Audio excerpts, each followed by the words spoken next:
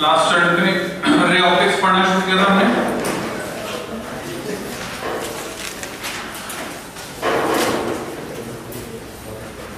आज की डेट लगाओ lecture number two ray optics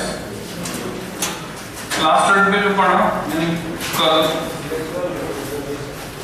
हमने पढ़ा कि ऑप्टिक्स को हम दो ब्रांच में बांटते हैं रे ऑप्टिक्स वेव ऑप्टिक्स जिनको respectively geometrical optics and physical optics भी कहते हैं। तो इसमें तुमने फिनोमेना पढ़ा रिफ्लेक्शन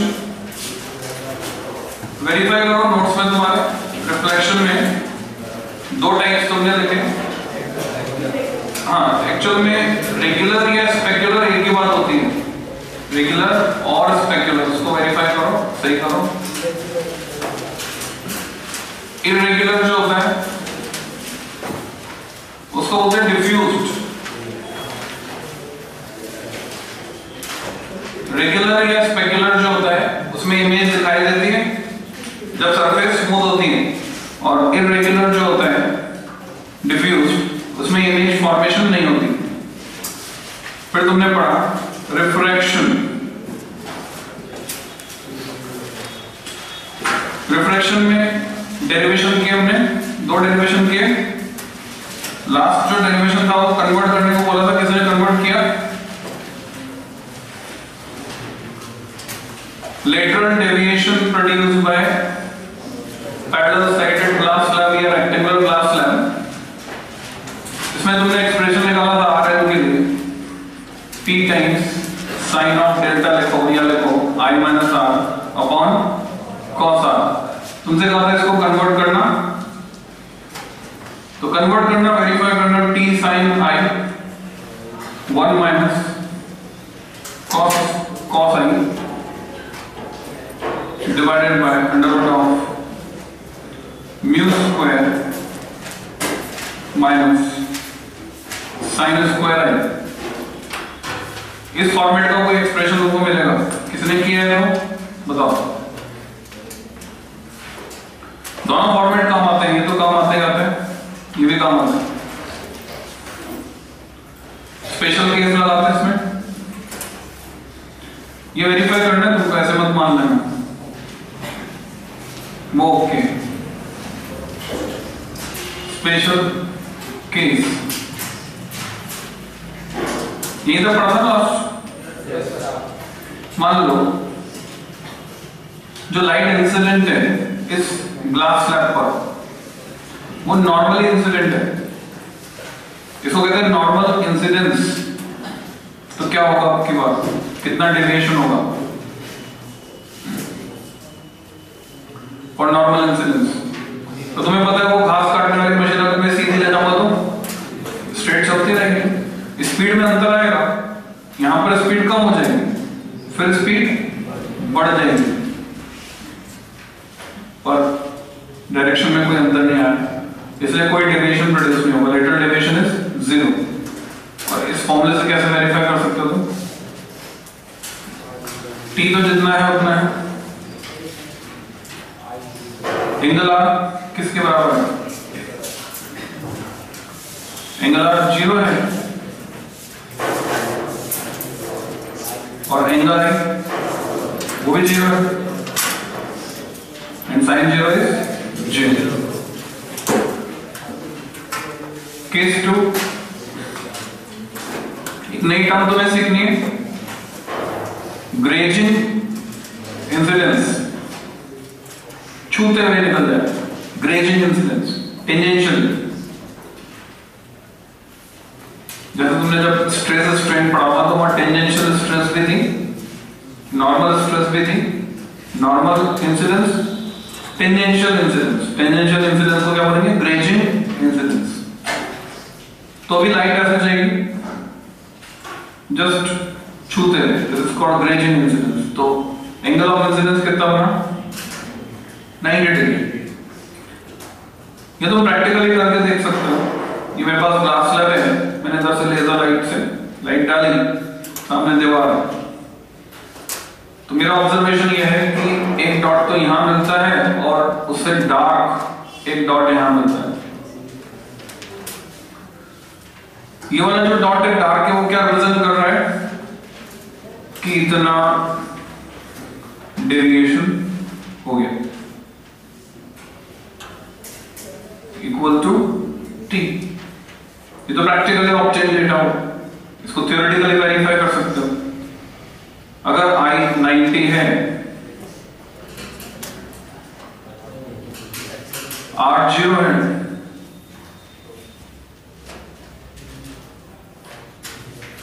आई 90 है।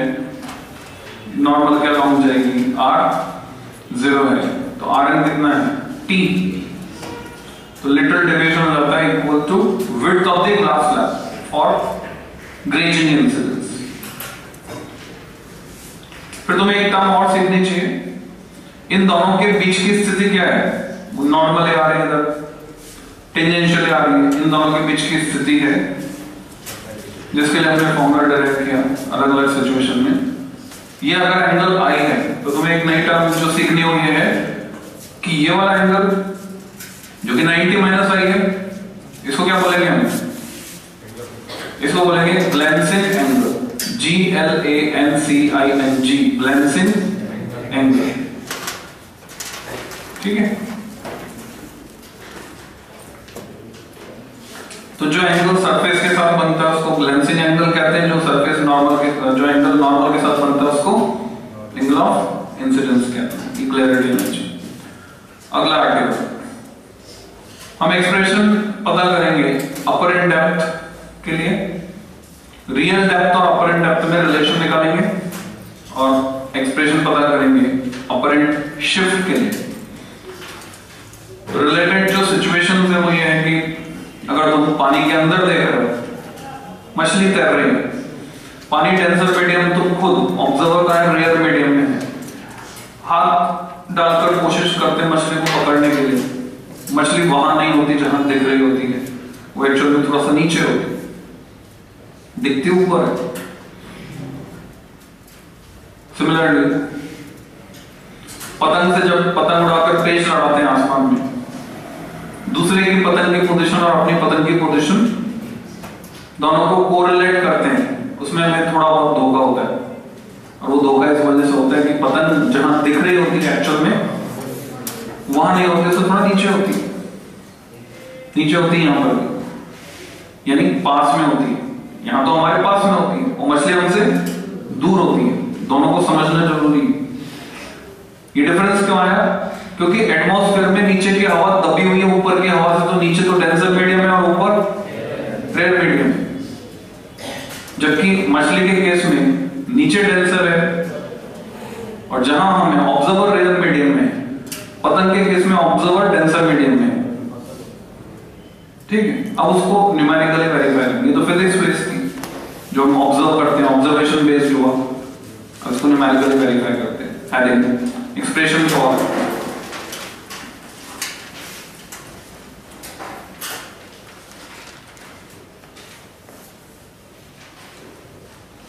दो एक्सप्रेशन निकालने हैं हमको एक निकालना है अपरेंट डेप्थ कई जगह तो ये फॉर्मूला लगाने से काम चलता है। और कई जगह अपरेंट शिफ्ट वो फॉर्मूला लगाना होता है इस पर बेस प्रैक्टिकल भी है फिजिक्स लैब में। प्रैक्टिकल तुम कर सकते हो ट्रैवलिंग माइक्रोस्कोप का। अपरेंट शिफ्ट तो तुम्हें होशियारी दिखानी होती है कि कहाँ कौन सा फॉर्मूला लगेगा वो प्रॉपर्ली जज करना होता है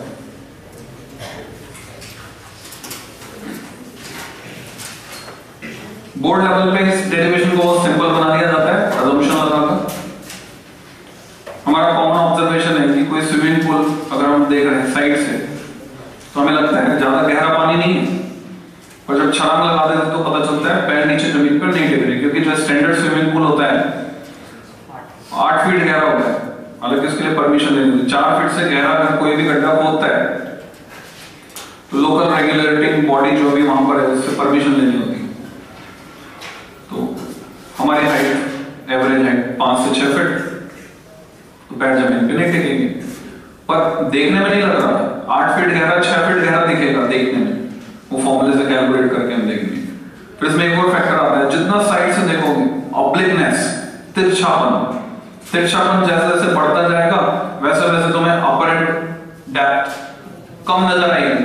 जितना ज़्यादा तिरछापन, उतनी कम ऑपरेंट डेप्थ नज़र आएगी। ये भी सवाल बनता है, पूछते हैं तुमसे।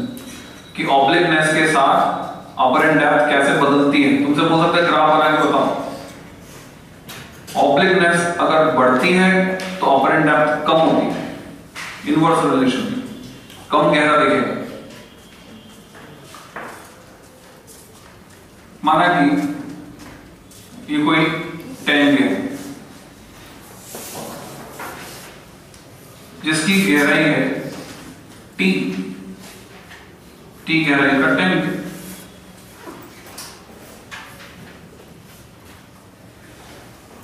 जो लिक्विड इसमें भरा है, जो नहीं लिख रहा है बच्चा, वो घर जा सकता है। जिसको कॉपी में नहीं लिखना है, वो घर जाओ और जिसको लिखना है, वही ऊपर बैठो।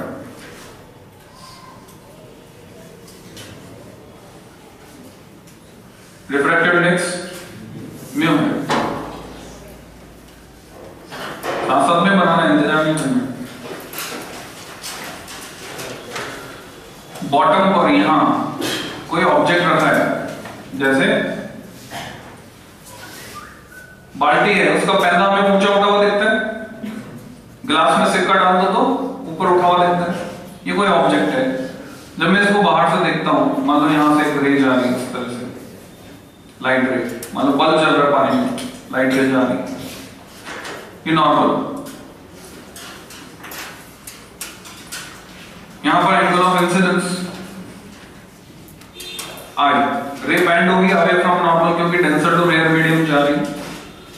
रे बैंड होगी away from normal this is angle of refraction observer यहाँ से देख रहे साइड से।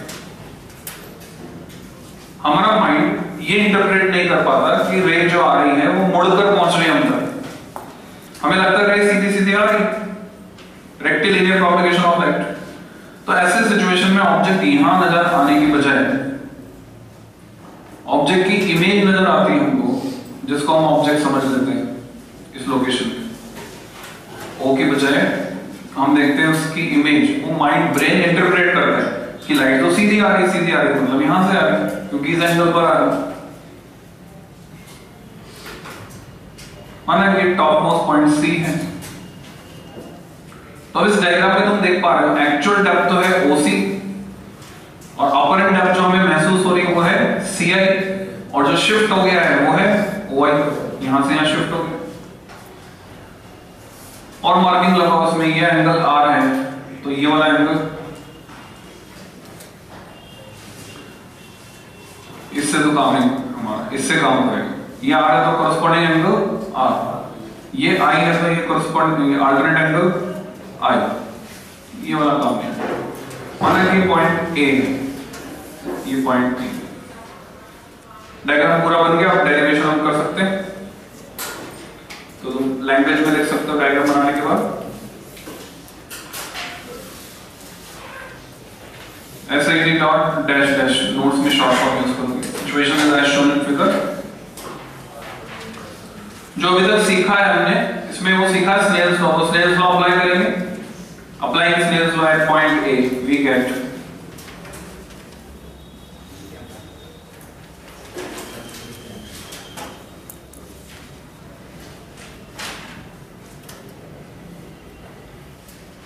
अब स्नेल्स लॉ लगाने के लिए तुम्हें थोड़ी होशियारी दिखानी होगी। रेंज आ रही है डेंसर टू रेयर और तुम्हारे पास रिफ्लेक्टिव इंडेक्स डेंसर का है विद रिस्पेक्ट टू रेयर तो रेयर का विद रिस्पेक्ट टू डेंसर क्या होगा?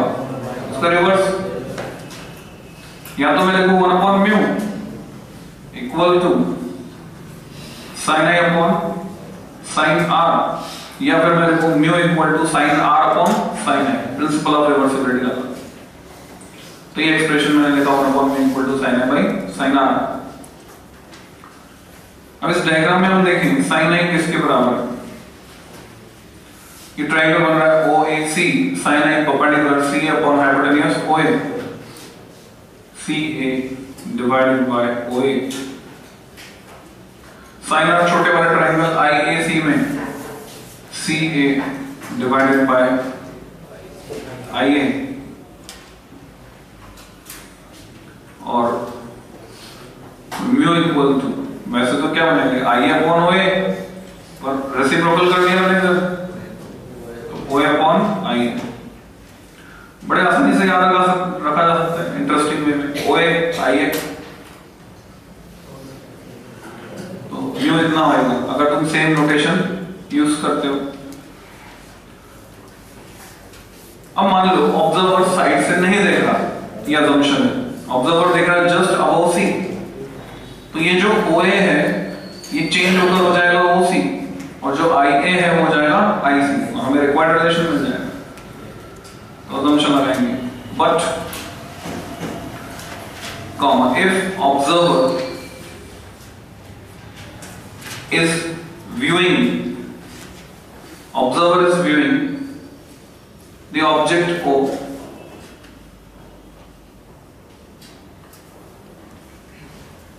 just above C from or down from just above C observer is viewing the object from just above C then OA equivalent का symbol OC OC को मैं क्या लिख सकता हूँ T actual depth IA equivalent का सिंबल IC इसको मैं लिख सकता हूँ apparent depth T subscript A double P. आभासी गहराई वास्तविक गहराई मुझे एक्सप्रेशन निकालना था अपरेंट डेप्थ के लिए. तो ये अपरेंट डेप्थ इधर जाएगा? एक्चुअल डेप्थ अपॉन म्यू आएगा तो पहला एक्सप्रेशन आ गया. दस अपरेंट डेप्थ एग्ज़ाम में भी बोर्ड एग्ज़ाम में भी तुम ये शॉर्ट फॉर्म लगा सकते हो। कब? ऑलरेडी पहले तुमने पूरा लिखा था। तो अगली बार दोबारा जब लिख रहे हो तो तुम शॉर्ट फॉर्म कर सकते हो।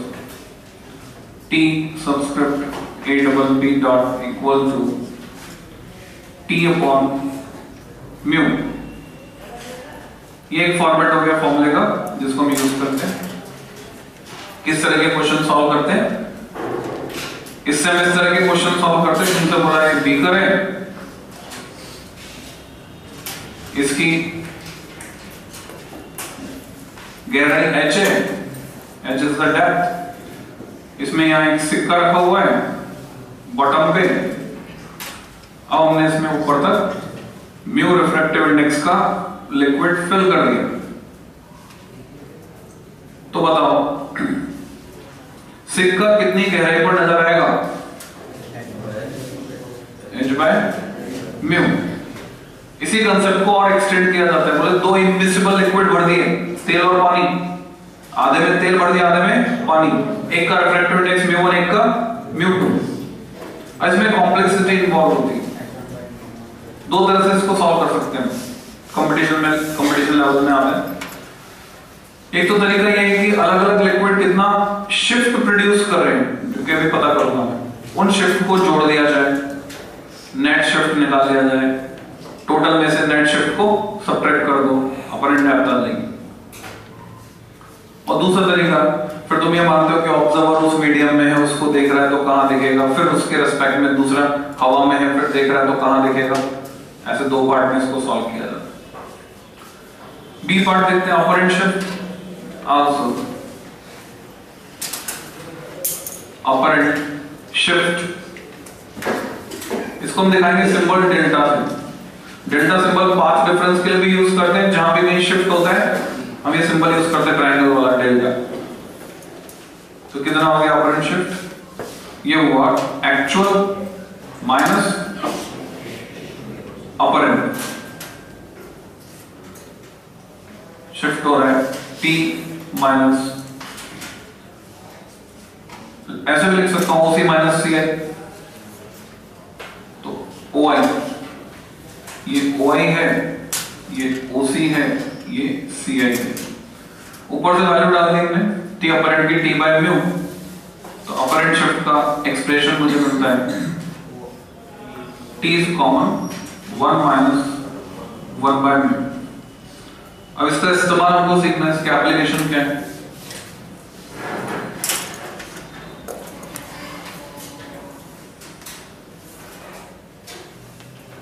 तो तुम क्वेश्चन लिख सकते हो। इस पर भी प्रैक्टिकल है। वो प्रैक्टिकल भी मैं तुम्हें अभी बता रहा हूँ। प्रैक्टिकल भी तुम फिजिक्स लैब में जाके कर सकते हो। Microscope travelling microscope based question लिखोगे जो बोर्ड में आ चुका है। Microscope is fo focused on an ink spot. A microscope is focused on an ink spot. किसी शाही के धब्बे पर हमने माइक्रोस्कोप को फोकस किया है। Full stop now a beaker with a liquid.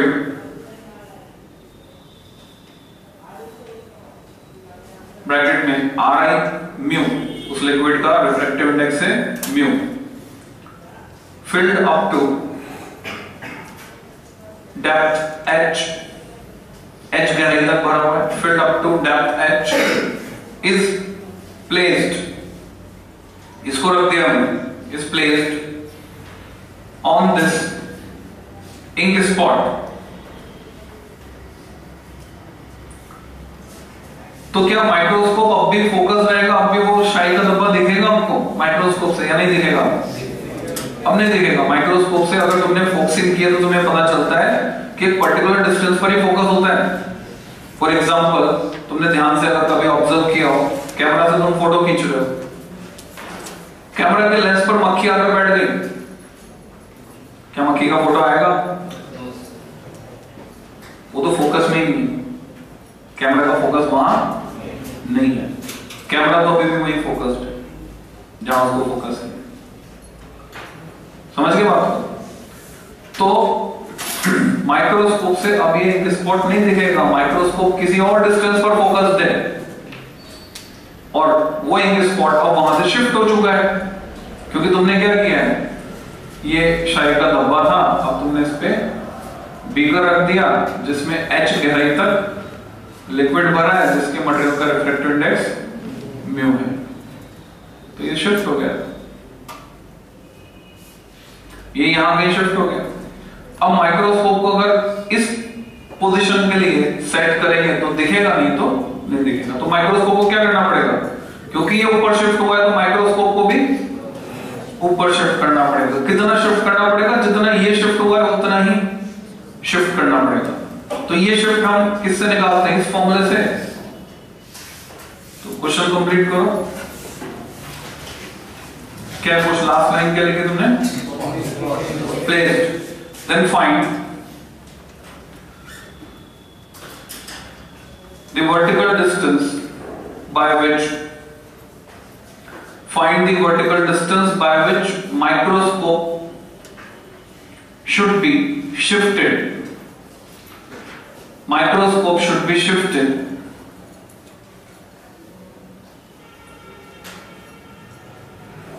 To focus on the ink spot. Again, to focus on the ink spot, again.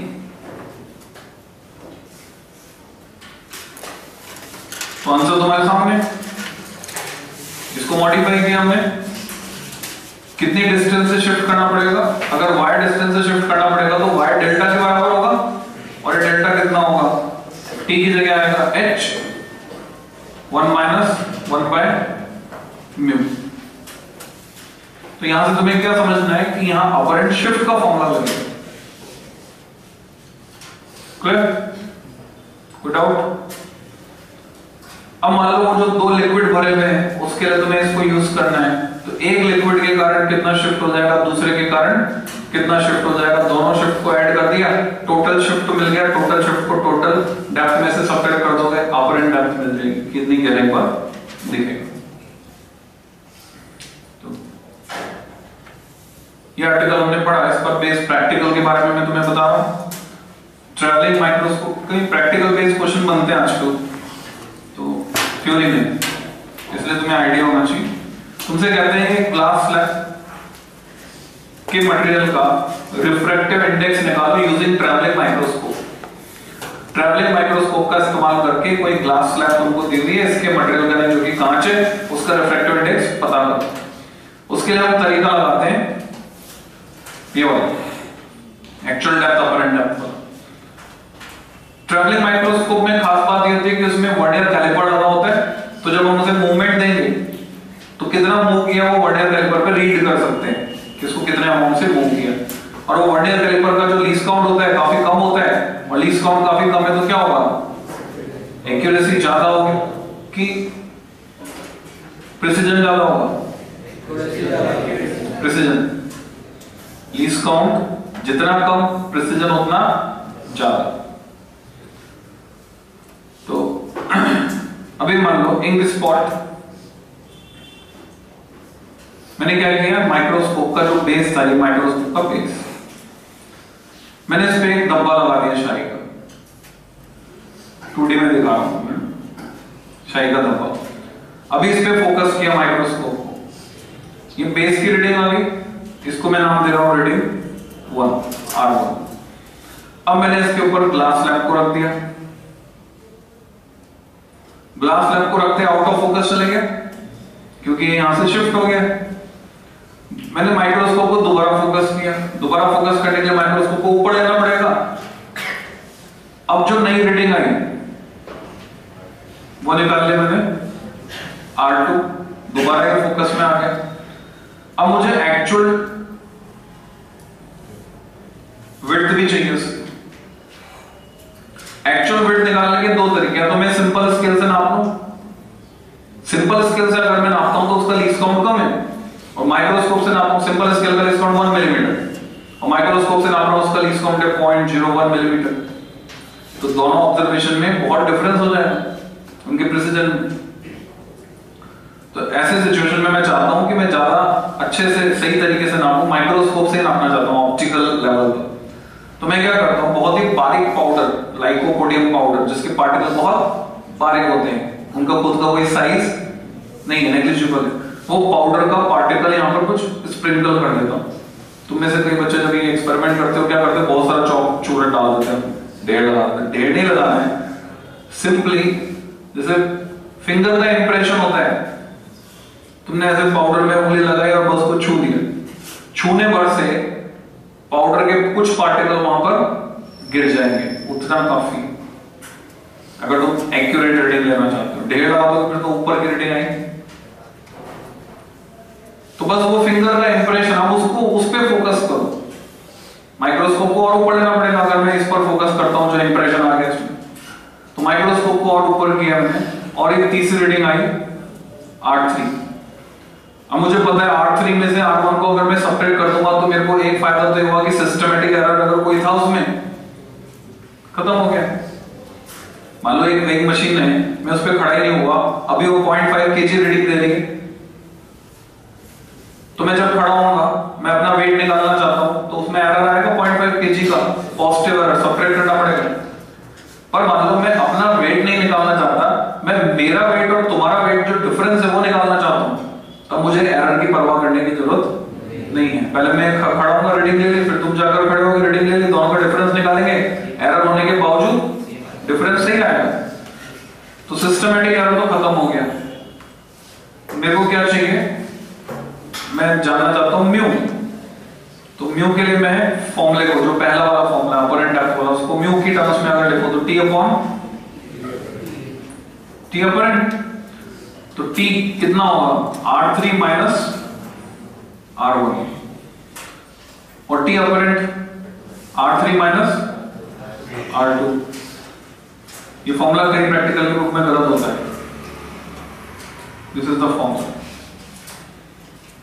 mu मिल गया refracted index of material of glass slab simple सा practical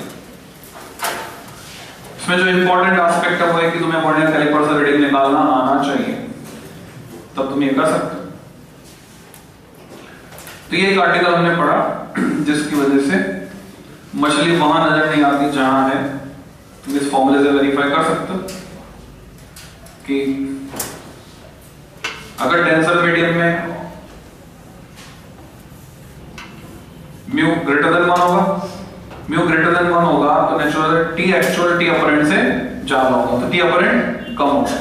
जहाँ में दिख रहा है, मछली पानी में पानी का म्यू ज़्यादा है, पानी का म्यू ज़्यादा है तो टी अपरेंट कम है। मछली ऊपर दिख रही पतन की बात करें, हवा, पतन जहाँ पर है, वो रेयर मीडियम है तो उसका म्यू कम होगा less than one less than मतलब वन मतलब T is less than T apparent हमें टी अपरेंट जो है बड़ा दिखेगा, ज़्यादा ऊँची दिखेगी पतन और टी एक्चुअल कम होगा। तो ऐसे वेरीफाई कर सकते हैं मैथमेटिकली रिफ्रैक्शन में अगला केस रिफ्रैक्शन के कारण हमको कुल मिलाकर चार मिनट सूरज की रोशनी ज़्यादा मिलती दिन की लंबाई चार मिनट बढ़ जाती because of atmospheric refraction earth पर sunrise and sunset moon rise and moon set abrupt नहीं होता। किसी और प्लेनेट पे चले जाओगे जहाँ पर एटमॉस्फेयर नहीं है, या मून पर चले जाओगे जहाँ एटमॉस्फेयर नहीं है। वहाँ पे सनसेट और सनराइज कैसे होंगे? एब्रप्ट कोई टाइम लैग नहीं आएगा। यहाँ थोड़ा सा टाइम लैग आता है। एटमॉस्फेयर तो रिफ्रैक्शन में तो लिखोगे अगला अगला फिनोमेना नेक्स्ट जो है early sunrise and delayed sunset early sunrise and delayed sunset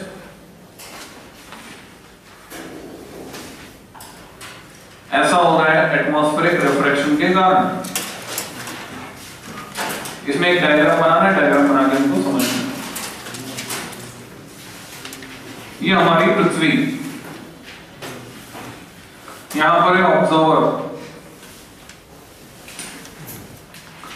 और ये है हॉरिजन क्षितिज।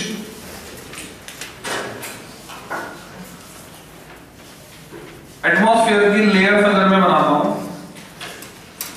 तो नीचे की लेयर डेंसर ऊपर की लेयर रेयर और ऊपर और रेयर ये तरीका है डेंसिटी को दिखाने का मान लो, सूरज हॉरिजन से नीचे जा चुका।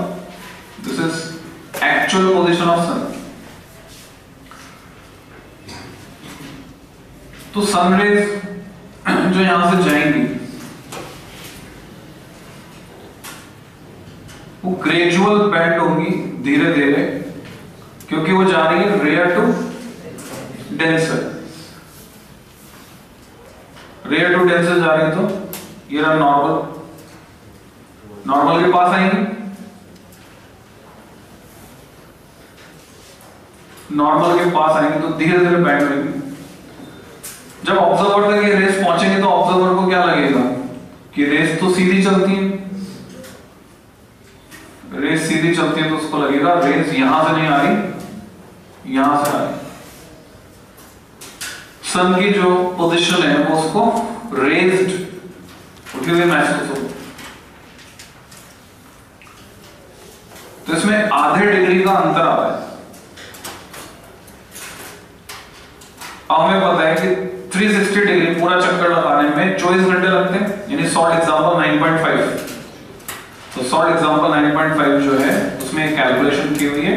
यूनिटरी लॉ लगा रखा है सिंपल एक एक नियम मैथमेटिक्स का। उससे तुम कैलकुलेशन कर सकते हो कि आधे डिग्री का अगर अंतर आ रहा है तो टाइम में दो मिनट का अंतर आएगा दो मिनट सुबह, दो मिनट शाम। सनराइज और सनसेट कुल मिलाकर चार मिनट रोशनी ज़्यादा मिलेगी। तो ये डायग्राम बनाने काफ़ी इसके बाद हम मोस्ट इंपॉर्टेंट फिनोमेना पढ़ने जा रहे हैं टीआईआर उससे पहले ब्लू बॉक्स में एक डिटेल दी हुई है problem of life guard and drowning child और उसमें फॉर्मेट के प्रिंसिपल का ज़िक्र। फॉर्मेट का नाम सुना है तुमने? वैसे सिलेबस में नहीं हमारे फॉर्मेट प्रिंसिपल पर तुम वो ब्लू बॉक्स में जो डिटेल दी उसको पढ़ सकते हो। उससे तुम्हें पता चलता है ला, लाइट भी जो है कौन सा पाथ फॉलो करती है। जैसे करंट लीस्ट रेजिस्टेंस वाला पाथ फॉलो करती है। लाइट भी लीस्ट रेजिस्टेंस वाला पाथ फॉलो करती है। जिसमें रेजिस्टेंस सबसे कम। तो उसको पढ़ना दो तीन बार पढ़ोगे तो काफ़ी अच्छी क्लैरिटी आएगी, समझ बनेगी। बोर्ड के लिए क्वेश्चन कोई नहीं बनना उसमें से। ऐसे तुम जानकारी के लिए पढ़ सकते हो। Interesting total internal reflection most important इसमें से डेफिनेटली एक क्वेश्चन बनना ही बनना है, इस पार्ट से। ट्वेल्थ क्लास में जो तुम फिनोमेना पढ़ते हो, उसमें सबसे ज़्यादा इंपॉर्टेंट फिनोमेना है टीआईआर जैसे इलेवन क्लास में जो फिनोमेना पढ़ते उसमें सबसे ज़्यादा इंपॉर्टेंट था रेजोनेंस अच्छा इसमें मैंने कुछ लिखाया नहीं तुमको। डेटा अपने आप लिख लेना लिखना है तो? चार मिनट आधा degree refer solve example 9.5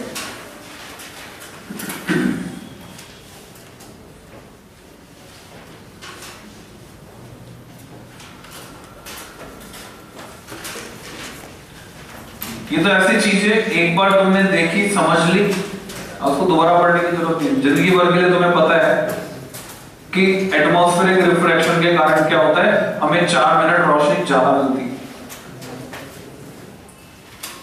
TIR total internal reflection exam में क्वेश्चन में आएगा तो पूरा नाम नहीं लिखा रहेगा शॉर्ट फॉर्म में लिख रहेगी टी आई आर रिफ्रैक्शन का स्पेशल केस तो इसके लिए तुम्हें एक डायग्राम बनाना है डायग्राम बना के समझना है। कि बाउंड्री है सेपरेटिंग टू मीडिया ऊपर जो मीडियम है वो रेयरर है और नीचे वाला डेंसर है। एक्स वाई सेपरेट कर रही बाउंड्री इन दो मीडियम को। मान लो, नीचे, यहाँ कहीं कोई बल्ब जल रहा है। ऑब्जेक्ट ये रोशनी फेंक रहा है सभी दिशा में। इससे कोई लाइट रे जाती है इधर। इंसिडेंट होती है।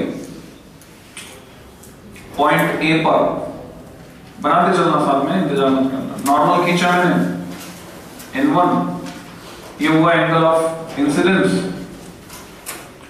रिफ्रैक्शन हुआ लाइट बैंड हुई अवे फ्रॉम नॉर्मल क्योंकि जा रही डेंसर टू रेयर ये हो गया angle of refraction partially reflect भी होगी यहाँ से। इसको तुम्हें प्रैक्टिकली अगर महसूस करना है तो सिंपल सा एक्सपेरिमेंट तुम कर सकते हो। वो सिंपल सा एक्सपेरिमेंट क्या है? अपने मोबाइल को अच्छे से थैले में पैक करो। सील टाइट कर दो उसको। उसको भगोनी में रखो, भगोनी में पानी भर दो। अब घंटी बजाओ उसकी, दूसरे मोबाइल से। उसकी आवाज़ सुनो। बहुत ही कम आई। रीजन जब वो पानी के अंदर है सोर्स पानी के अंदर। इसने साउंड वेव भेजी। कुछ आवाज़ बाहर है कुछ यहाँ से रिफ्लेक्ट होकर वापस चलेगी अंदर रहेगी पानी के अंदर। अब स्नेल्स लॉ यहाँ पर वैलिड है तो म्यू तो फिक्स है।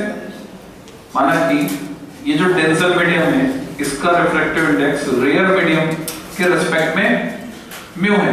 और म्यू होता है sine I by sine R अब मैं अगर आई को बढ़ाऊँगा म्यू फिक्स साइन आई भी बढ़ेगा तो साइन आर को भी बढ़ना है। तो मैंने आई को बढ़ाया। ज़्यादा इंक्लिनेशन वाली रेल जो पॉइंट बी पर incident normal and to R और बढ़ा। बढ़ते बढ़ते कंडीशन आएगी कि जब आर बढ़कर 90 डिग्री हो जाएगा।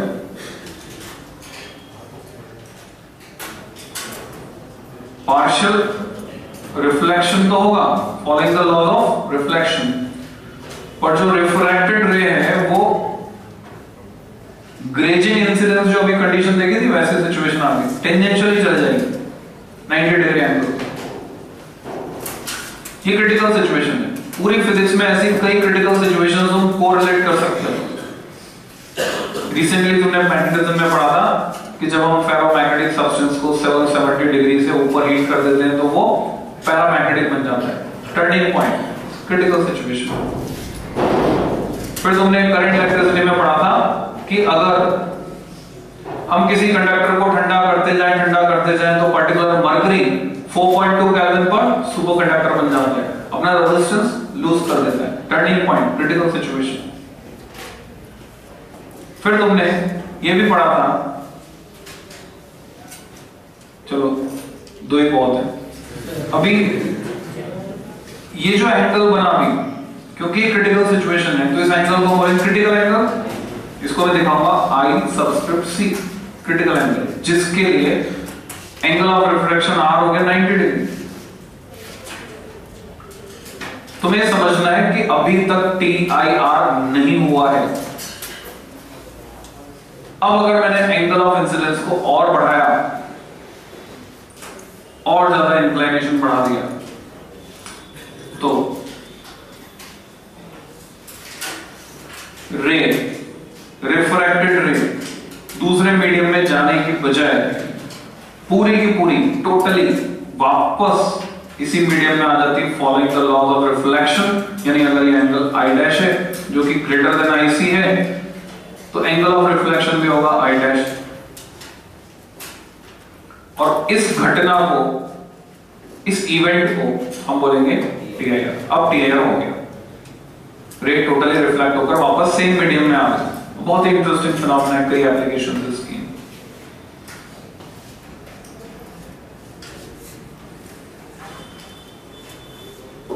एनसीआरटी में जो डायग्राम बना हुआ है, उसमें यहाँ तो दिखाई रिफ्लेक्ट रिफ्लेक्टेड इस सिचुएशन में नहीं दिखाई पर इस सिचुएशन में भी होगी रिफ्लेक्टेड है यहाँ बस एक ही होगी रिफ्लेक्टेड तुम इसको लिख सकते हो टोटली रिफ्लेक्टेड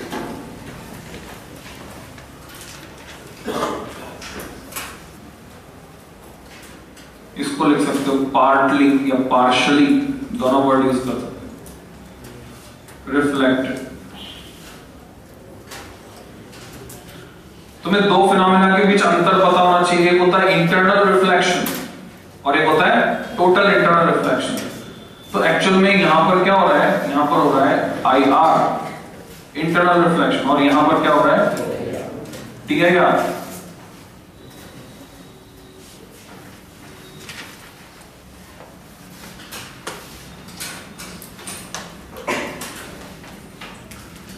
दो नंबर में एक डेरिवेशन तुमसे पूछा जाता है।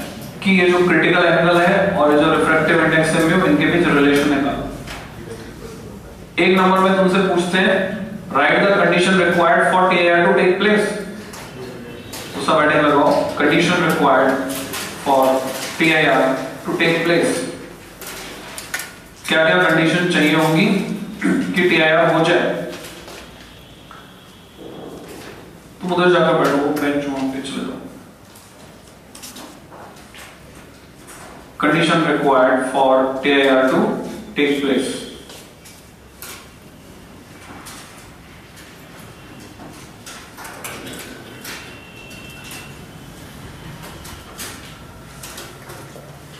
First, the ray must move from denser to rarer medium. Ray must move from denser to rarer medium. तभी टी आई होगा। रियल टू टेंशन नहीं होगा। Second angle of incidence should be greater than critical angle angle of incidence should be greater than critical angle दो number में relation derive करेंगे। Relation between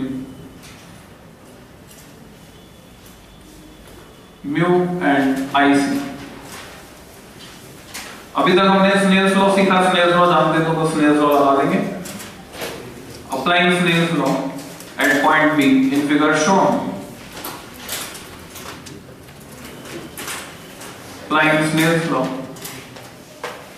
at point B in figure shown लगा दो Snell's law अगर मैं mu लिखता हूँ मुझे लिखना होगा sine R upon sine IC और अगर मैं लिखता हूँ वन अपॉन म्यू, तब मैं लिख सकता हूँ sine IC upon sine R. क्योंकि रेयर मीडियम का रिफ्रैक्टिव इंडेक्स डेंसर के रिस्पेक्ट में प्रिंसिपल ऑफ़ रिवर्सिबिलिटी लगा कर दो, one upon mu. Equal to sin ic अपॉन sin r की जगह आएगा, sin 90 sin 90 इज़ 1 तो सिंपल सा रिलेशन आ गया, one upon mu. To sin जिसको अलग अलग फॉर्मेट में हम लिख सकते हैं। और mu equal to one upon sine IC और IC equal to sine inverse one upon mu कई तरह से इस फॉर्मूले को यूज़ करते हैं। ट्रिज्म में यूज़ करते हैं, वैसे यूज़ करते हैं। तुमसे सवाल पूछते हैं कि कोई गोताखोर डाइवर पानी के नीचे है। मान लो, पानी भरा है यहाँ पर। दिस इज़ लेयर छत है। मैं नीचे से ऊपर देख रहा हूँ। ऊपर की दुनिया मुझे गोल दायरे में सिमटी हुई नज़र आएगी। वहाँ वहाँ रोशनी दिखेगी, उसके बाद रोशनी नहीं दिखेगी। तो उसकी रेडियस निकालो। तो सर्कुलर पैच की, जिसमें रोशनी दिखेगी। तो इस तरह के क्वेश्चन के लिए हम ये फॉर्मूला यूज़ करते कैसे? अभी देखेंगे क्वेश्चन करेंगे। तो रिलेशन आ गया। क्वेश्चन लिख लो। A diver is 10 meter below the water surface. A diver, D-I-V-E-R, driver मत लिख D-I-V-E-R, diver. ये आर का बहुत फ़र्क पड़ जाता है कई जगह Compton effect C O M P T O M Crompton तो कंपनी फिर ऐसे ही इस आर का फ़र्क और भी कई जगह पड़ जाता है मैग्नेट्रॉन मैग्नेट्रॉन जो है, वो क्या है? ट्यूब है पार्टिकल एक्सेलरेटर और मैग्नेट्रॉन बोर मैग्नेट्रॉन तो हमें थोड़ा सा अवेयर रहना चाहिए अवेयरनेस तो तुमने लिखा a diver is 10 metre below water surface Then, outside world is visible to him. Outside world is visible to him through a circular patch. Through a circular patch of radius small r only through a circular patch of radius small r only, comma, then find small r.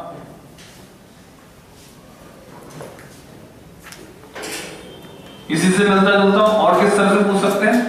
और दूसरा question बना दो।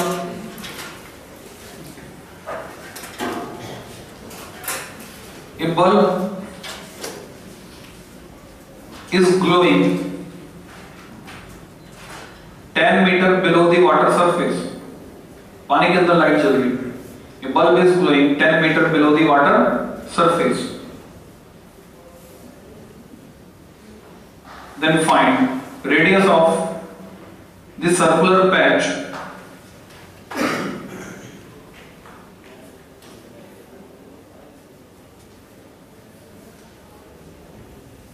appearing lighted from outside appearing lighted from outside उस circular patch की radius निकालो रोशनी का जो घेरा नज़र आ रहा है हमें बाहर से देखने क्या दोनों क्वेश्चन में कोई अंतर है? दोनों का आंसर भी सेम है, दोनों क्वेश्चन सेम है। कैसे सॉल्व करेंगे? जस्ट इमेजिन कि ये वाटर की सरफेस ये वो सर्कुलर पैच है, जिसको मैं थोड़ा सा इलेक्ट्रिकल बना के दिखा रहा हूँ फॉर सेक ऑफ़ अंडरस्टैंडिंग जिसकी रेडियस आर पता करनी। तुम या तो मान लो डाइवर है यहाँ पर, या मान लो बल्ब जल रहा है दिस इज़ डाइवर और बल्ब। ये डेप्थ तुम्हें दी हुई है कितनी गहराई पर है? टेन मीटर नीचे पूरा क्या है? पानी।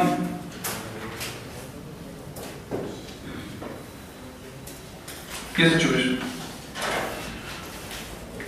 तो अगर ये देख रहा है, और इसको खाली यहाँ तक का दिख रहा है, बाहर की दुनिया, इतने हिस्से में पैक दिख रही है तो इसका मतलब ये है कि अगर मैं यहाँ पर नॉर्मल खींचता हूँ दिस इज़ नॉर्मल तो ये एंगल डेफिनेटली किसके बराबर हो गया? क्रिटिकल एंगल क्योंकि उसके बाद रे ऐसे चले जाएगी। इसके बाद वाली सभी रेज लौट आएँगी इसलिए बाहर का नहीं दिखेगा। या बल्ब की जो रोशनी है, इसके बाद दिखाई नहीं देगी, क्योंकि वो सारी रेस वापस लौट आएगी ऐसा साउंड के साथ भी होगा। पानी के अंदर बम फोड़ा। एक सर्टेन रीजन में तो आवाज़ आएगी, उसके बाद आवाज़ नहीं आएगी। तो मैं पता कर सकता हूँ। ये आईसी तो अल्टरनेट एंगल ये भी आईसी तो टेन आईसी कितना मिल रहा है इस डायग्राम में? टेन आईसी मिल रहा है परपेंडिकुलर आर अपॉन बेस और मैं जानता क्या हूँ? मैं जानता हूँ ये। पानी है। पानी का म्यू पता है मुझे? तो इस फॉर्मूले से मैं लिखता हूँ mu four by three equal to one upon sine IC तो साइन आईसी कितना हो गया? साइन आई सी हो गया थ्री बाय फोर अब इलेवन में जो सीखा था वो कंसेप्ट लगेगा। अगर तुम्हें साइन थीटा पता है टेन थीटा निकालना है तो ट्रायंगल बना देते ट्रायंगल बना लेंगे ये राइट एंगल ट्रायंगल मैंने बनाया है। जिसमें ये एंगल है आईसी तो साइन आईसी को मैं क्या लिखूँगा? थ्री बाय फोर तो बेस कितना आ गया? Root seven under root of four square minus three square sixteen minus nine. Ten IC मिल गया मुझे। Perpendicular three upon base root seven equal to R by ten so R equal to thirty by root seven metre किसी को कोई भी doubt पूछ। Concept clear होना चाहिए तुम्हारा। इंपॉर्टेंट कैटेगरी का क्वेश्चन है। फिर आगे फ्यूज करके और इसकी एप्लीकेशन बना सकते हैं मॉडिफिकेशन लगा सकते हैं कई तरह के बेसिक है बिल्कुल।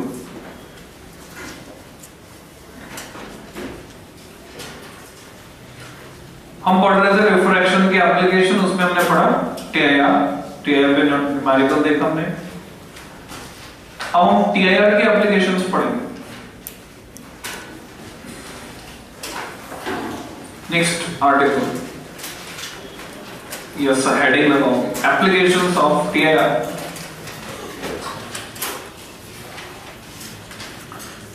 applications of TIR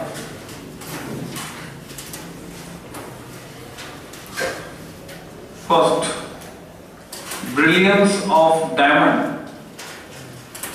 हीरे का जगमगाना किसके कारण?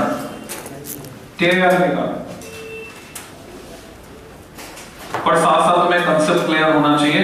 अगर टीआईआर परफेक्टली हुआ तो हीरा नहीं जगमगाएगा। टीआईआर परफेक्टली नहीं हो रहा है, इसलिए जगमगा रहा है। कैसे? वो समझते हैं। फॉर डायमंड रिफ्रैक्टिव इंडेक्स अगर तुम्हें याद रहा हो, कल लिखा था मैंने। For diamond R I mu equal to 2.4 so, critical angle IC equal to sin inverse 1 by mu. Formula लगा दिया। अब तुम्हें क्या करना पड़ेगा? पहले तो तुम्हें 1.2.4 निकालना पड़ेगा। 1.2.4 निकालने के बाद साइन इनवर्स टेबल देखोगे। इनवर्स टेबल में देखने के बाद जब तुम आईसी की वैल्यू निकालोगे, उसको तुम यहाँ लिख सकते हो। पर मज़े की बात यह है कि तुम्हें कुछ भी करने की ज़रूरत नहीं। 2.4 के करस्पॉन्डिंग 24 आ हैं 24 डिग्री। क्या रखना आसान। ऐसा हमेशा नहीं होता। तुम सोचो वाटर के लिए लगा दें। ग्लास के लिए लगा दें। नहीं लगे। बहुत रेयर केस होता है। आज से चार साल पहले जब वो चार या पाँच साल हो गए। सूरज। सूरज नाम था लड़के का, विज्ञापन भी यहाँ पे लगा हुआ था सिनेप्लेक्स में लगा हुआ था। सूरज पुलकित ये सब एक बैच के थे, निशीत। आईटी में टॉप किए थे जिन्होंने। तो सूरज अकेला ऐसा लड़का अभी तक जिसकी जो रैंक जेई एडवांस में आई, उतनी जेई मेंस में। 24 थी या 28 थी। जेई मेंस में भी वही रैंक और जेई एडवांस में भी वही रैंक सेम डायमंड 2.4 23 तो just this is method of linking याद रखने के लिए आसान है। अब ये डिटेल तुमसे पूछा जाता सवाल। ये फैक्ट डायमंड कटर हीरा तराशने वाला व्यक्ति, क्या उसके लिए किसी काम का है? तो जवाब है हाँ उसके बहुत काम है। वो हीरे को तराशते वक्त उसकी एजेस को इस तरह से बनाएगा कि जब भी लाइट हीरे पर गिरे एंटर करे और एंटर करने के बाद वापस निकलने की कोशिश करे तो एंगल ऑफ़ इंसिडेंस 24 से ज़्यादा हो जाए तो उसका टीआईआर हो जाए। तो वापस निकल नहीं पाए अंदर ही अंदर घूमती रहे। अब परफेक्टली तो नहीं घूम सकती। थोड़ी थोड़ी करके रिस रिस कर निकलती है। अगर बिल्कुल भी ना निकले तो हमें दिखेगी कैसे? तो जो मैं कह रहा था, अगर टीआईआर परफेक्टली हो गया तो फिर इधर दिखाई नहीं देगा। और अगर परफेक्टली नहीं हो रहा है तो इफ़ेक्ट क्या हो रहा है? लाइट सोर्स कट ऑफ़ कर दिया हमने। तो भी टाइम लैग आ गया। जो लाइट अंदर घुसी हुई है, वो धीरे धीरे निकल रही है। धीरे धीरे निकल रही है तो कौन सा इफ़ेक्ट आएगा? जगमगाने का इफ़ेक्ट साउंड के रेफरेंस में समझो। अभी इसी का एग्जांपल है जो ये आवाज़ हुई। सोर्स ने मोशन करना बंद कर दिया, उसके बाद भी आवाज़ की गूंज बची हुई थी। फॉर एग्ज़ाम्पल एक तो यहाँ क्लासरूम में मैं बोल रहा हूँ, यहाँ पे तुम्हारी क्लास चल रही महसूस करो। मैं बोलना बंद कर चुका होता हूँ। उसके बाद भी आवाज़ की गूंज बचती क्योंकि आसपास दीवारों से साउंड रिफ्लेक्ट होकर आ गया इसको कहते हैं लिंगरिंग इलेवन क्लास में एक वर्ड पढ़ा हमने L I N G E R I N G lingering of sound पर यही क्लास अगर जंगल में चल रही होती पिकनिक स्पॉट पे कहीं बैठे होते, खुले में? वहाँ पर ऐसी कोई आवाज़ गूंजती हुई सुनाई नहीं देगी बिकॉज़ रिफ्लेक्ट होकर नहीं आ रही तो हीरे में यही होता है कि लिंगरिंग ऑफ़ लाइट हो जाता है हीरे में इसलिए लाइट बाहर निकलने में टाइम लैग लगाती है और टाइम लैग लगाती है तो जगमगाने वाला इफ़ेक्ट आता है। सोर्स कट ऑफ़ कर दिया, उसके बाद भी लाइट बचती है। इसी को कहते हैं ब्रिलियंस ऑफ़ डायमंड तो हीरा है बिकॉज़ ऑफ़ टी इसलिए हम कहते हैं। और तुम्हें साथ साथ में समझ रखती है दिमाग में कि टी अगर परफेक्टली होगा तो हीरा नहीं पाना सेकेंड एप्लीकेशन अच्छा इसको लिख देना। This fact is use by diamond cutter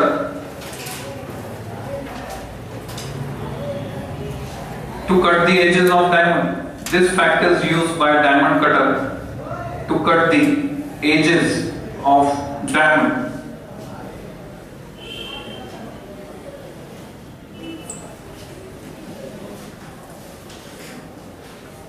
So that the light once enter the diamond, light once enter the diamond,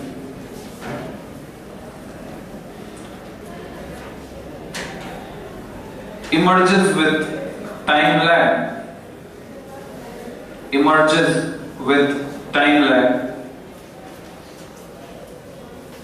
as it suffer TIR, as it suffer TIR inside it.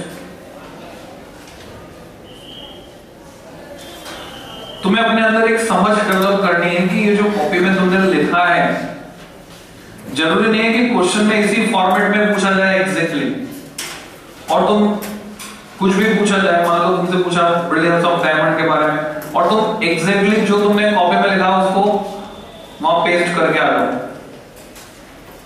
Question के format के हिसाब से तुम्हें अपना input देना पड़ेगा। ये जो नोट्स तुम्हारे तैयार हुए हैं नोट्स में काफ़ी डिटेल है। पर जब क्वेश्चन पूछा जाएगा तो ऐसा नहीं कि तुम इसी फॉर्मेट में एज इज़ पेस्ट करो तुम्हें अपना इनपुट देना पड़ेगा, तुम्हारा खुद का दिमाग लगाना पड़ेगा और उस दिमाग लगाने के बाद तुम इस इंफॉर्मेशन को प्रोसेस करके क्वेश्चन के फॉर्मेट में कन्वर्ट करके फिर आंसर दोगे। तब तुम कहलाओगे होशियार। तो अगली एप्लीकेशन ब्लेंस ऑफ़ डायमंड के बाद टीआईआर की वजह से और क्या होता है? मिराज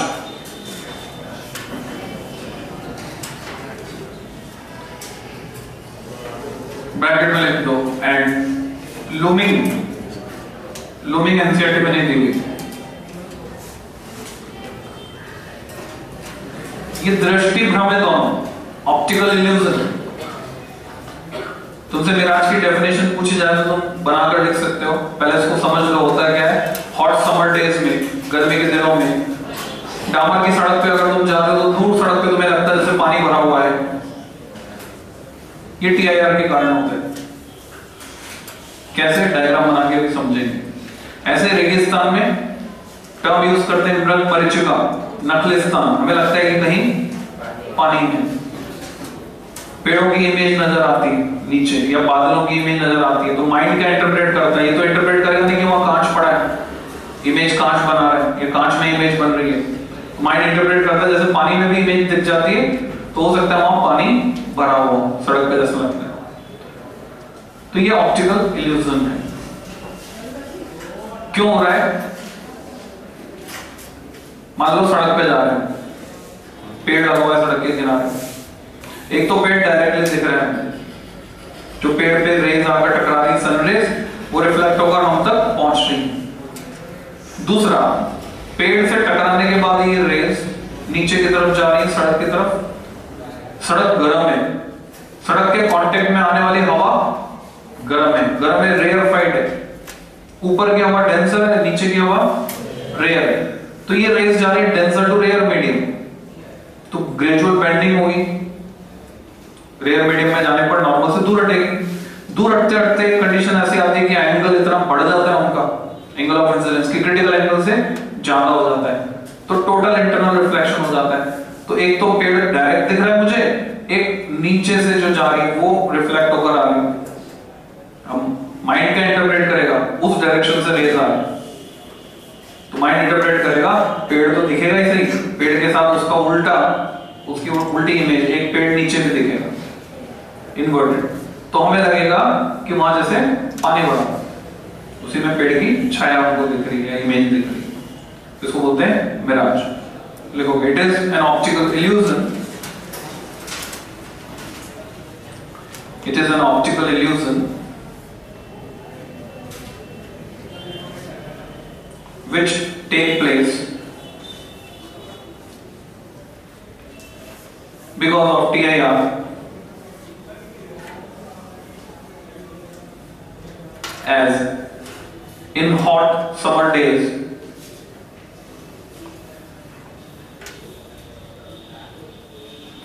density gradient एक वर्ड यूज़ कर रहा हूँ मैं स्पेसिफिक डेंसिटी ग्रेडियंट ग्रेडियंट मतलब जब किसी क्वांटिटी का change with respect to distance ले रहे तो डेंसिटी का चेंज हो रहा है विद रिस्पेक्ट टू डिस्टेंस किसकी density air density gradient is created in atmosphere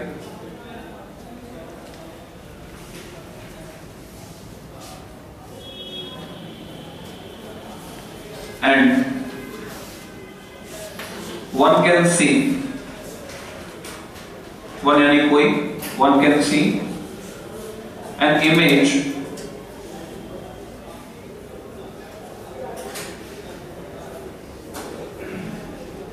inverted image an inverted image an inverted image along with the object Along with the object. As shown as shown करके dash लगा दो। एक diagram बना के बताएँगे अच्छा ज़रूरी नहीं यही लैंग्वेज देखो, जब तुमसे पूछा जाए। तुम्हें फिनोमेना समझ में आ गया, तुम अपनी लैंग्वेज में डिस्क्राइब कर सकते हो। डायग्राम ऐसे बनेगा। डायग्राम में थोड़ा सी फ्लेक्सिबिलिटी है। मैं एक तरह का पेड़ बना रहा हूँ, तुम्हारी मर्ज़ी, तुम खजूर का बनाओ, केले का पेड़ बनाओ, कोई सा मैंने आम का पेड़ बनाया।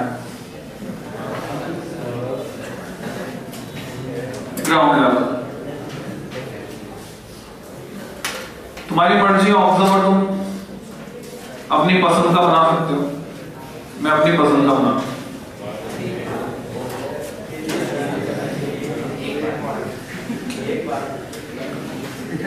यहाँ पर हम एटमॉस्फेयर की लेयर्स दिखाएँगे।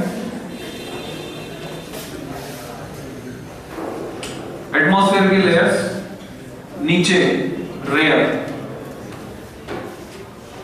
गर्म होगा। जैसे जैसे ऊपर जाएँगे डेंसिटी बढ़ती जाएगी।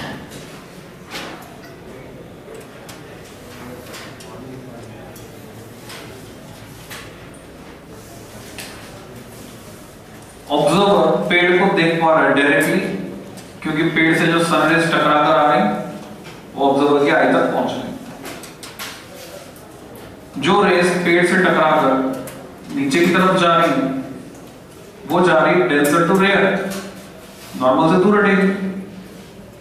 नॉर्मल से दूर हटते हटते ग्रेजुअल पेंडिंग होगी। मान लो यहाँ तक पहुँचते पहुँचते क्या हुआ? Angle of incidence critical angle से ज़्यादा हो गया। एंगल बढ़ता जा रहा है। क्रिटिकल एंगल से ज़्यादा तो टीआर हो जाएगा। ऑब्जर्वर तक पहुंचेगी। ब्रेन इंटरप्रेट करेगा रेस रेक्टिलिनियर प्रोपगेशन माना कि रेस यहाँ से आ रही है उसको ऐसा लगेगा पेड़ के साथ साथ उसकी इन्वर्टेड इमेज भी नज़र आएगी। This is called Miraj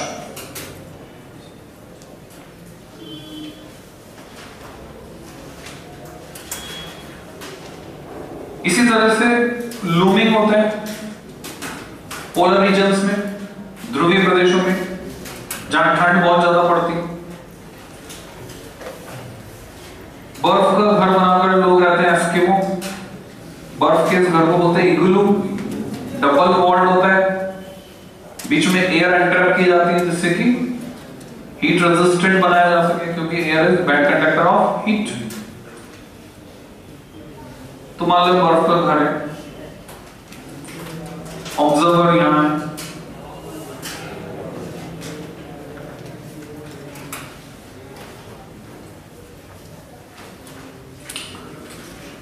atmosphere की लेयर्स की जो बात हम करेंगे वैसे करेंगे कि नीचे डेंसिटी ज़्यादा होगी। जैसे जैसे ऊपर जाएँगे डेंसिटी कम होती चली जाएगी।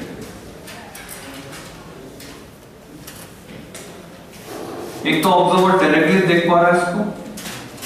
दूसरे जो रे ऊपर हुई वो जा रही denser to rare gradually bend होगी। बैंड होकर पहुँचेंगे ऑब्जर्वर तक। तो ऑब्जर्वर को ब्रेन इंटरप्रेट करके देगा कि उसको सीधे आ रही है रेक्टिलिनियर प्रोपगेशन उसको एक घर यहाँ उल्टा लटका होना जाएगा हवा में along with the object. लटका होना, लटकना, इसको गाँव में बोलते हैं लूमना। कोई लटक जाता है पेड़ से, पर पेड़ पे लूम गया।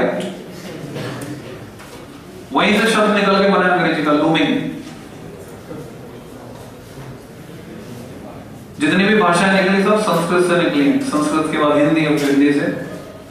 तो अंग्रेज़ी में शब्द वहीं से आया। लूमना हवा में लटका हुआ ऐसे कई बार गोस्ट शिप नज़र आता है, भूतिया जहाज़। एक जहाज़ पानी में चलता हुआ, एक जहाज़ ऊपर उल्टा लटका हुआ। कई किताबों में इसको बनाया तो सीधा बना दिया, वो गलत है। ऊपर जो बनेगा, कैसा बनेगा? इनवर्टेड उल्टा बनेगा। ऐसे ही बर्फ़ के पहाड़ हवा में उल्टे लटके हुए नज़र आते हैं because of looming optical illusion टेयर के कारण अगली एप्लीकेशन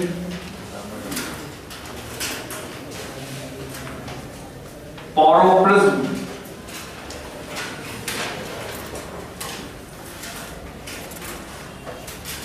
ब्रैकेट में लिखोगे. Totally reflecting isosceles right angled prism, P O double R O poro prism. क्या होता है ये? ये होता है टोटली रिफ्लेक्टिंग इसके गुण, गुणों का बखान कर रहा हूँ टोटली रिफ्लेक्टिंग पूरा का पूरा रिफ्लेक्ट कर देता है। आइसोसेलस दो साइड सेम है right angle.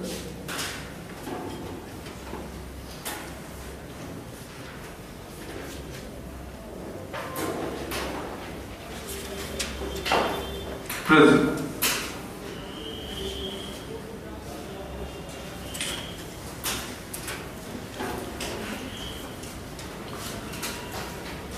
ये टीआईआर पर कैसे काम करता है? इसे हम क्या क्या कर सकते हैं इस पे क्वेश्चन अभी लेटेस्ट सैंपल पेपर में भी आया 2016 के। पहले बोर्ड में पूछे जा चुके इस पे क्वेश्चन सेम क्वेश्चन रिपीट हुआ सैंपल पेपर में वापस। तो तुम लिख सकते हो यूजिंग इट वी कैन इसका इस्तेमाल करके using it we can bend the rays as well as object, band the rays, as well as object by angle. Dash लगाओ first 90 degree. 90 डिग्री से बैंड कर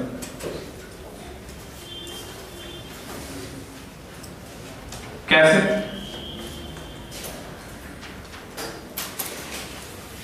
ये प्रिज्म है। इसका cross section A B C ये 90 degree है, ये दोनों एंगल 45 डिग्री है। अगर कोई लाइट रे इंसिडेंट होती है फेस एसी पर तो नॉर्मल इंसिडेंस की वजह से सीधी चली जाती है। और अभी ये इंसिडेंट है फेस बीसी पर। बीसी पर इसका जो एंगल ऑफ़ इंसिडेंस बनेगा, वो बनेगा 45 डिग्री क्योंकि ये भी 45 है और ये भी 45 है। और जब ये एंगल 45 डिग्री बनेगा तो हमें एक डिटेल क्लियर होनी चाहिए। वो डिटेल क्या है? रेफरेंस साइड पे तुम चाहो तो कर सकते हो उसको। Mu equal to 1 upon sin IC अभी भी पढ़ा था तुमने? Critical angle IC equal to sin inverse 1 by mu prism glass का बना हुआ है। ग्लास के लिए refractive index sine inverse two by three 2 by 3 होता है पॉइंट सिक्स सिक्स तुम आसानी से टेबल में देखकर इसके वैल्यू निकाल सकते हो। It comes to be approximately 41 degree तो ग्लास के लिए अगर क्रिटिकल एंगल है 41 डिग्री और रे यहाँ पर इंसिडेंट है 45 पर ग्रेटर देन आईसी तो क्या हो जाएगा? ठीक है यार ये सरफेस से रे टीआईआर होकर इधर आएगी, अब नॉर्मल इंसिडेंस सीधे निकल जाएगी। तो ओवरऑल रे 90 डिग्री से बैंड हो गई इस प्रिज्म की मदद से। पुराने कैमरा में ऐसा किया जाता था? मान लो तुम सबका ग्रुप फ़ोटो मुझे लेना है, मैं फोटोग्राफर हूँ, यहाँ पर स्टैंड है, वो कैमरा है, अभी मैंने कंबल ओढ़ रखा है कैमरे में वो जो बिलो होता है। ऐसा तो होता था पहले, कि लेंस को आगे या पीछे करना पड़ता था तो फ्लेक्सिबल अरेंजमेंट होता था। जैसे वो धोंकनी होती है लोहार की उसमें फ्लेक्सिबल अरेंजमेंट होता है। या तो हॉस्पिटल में देखते हो कोई किसी को वेंटिलेटर पे लगाया हुआ है तो फेफड़े, जब वो सांस ले रहा है तो कोई चीज़ फैल रही है सिकुड़ रही है। वैसा अरेंजमेंट तो मैं कैमरा में ऊपर से देख रहा हूँ और मुझे तुम देख रहे हो। तो कब दिखेगा वो? 90 डिग्री पर बैंड होगा। तो यहाँ एक प्रिज्म लगा हुआ और जिसकी मदद से सामने का व्यू ऊपर से देख पाओ पूरे ऑब्जेक्ट को अगर बैंड करना है तो ऑब्जेक्ट के लिए हम दो रेज लेते हैं। एक और डायग्राम तो बनाओ।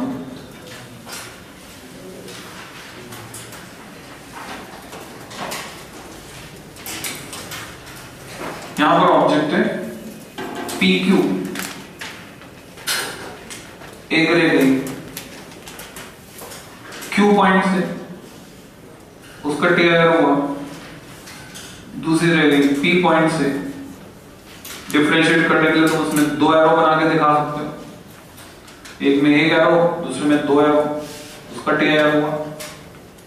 तो इमेज कैसे बनेगी? यहाँ पर इमेज घूम गई पी के करस्पॉन्डिंग पी डैश क्यू के करस्पॉन्डिंग क्यू डैश 90 डिग्री से पेंडेंट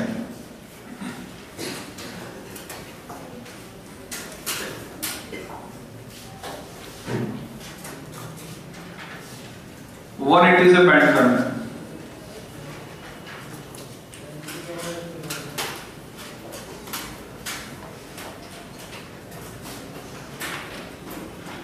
प्रिज्म को डिफरेंट ऑरिएंटेशन में यूज़ करें।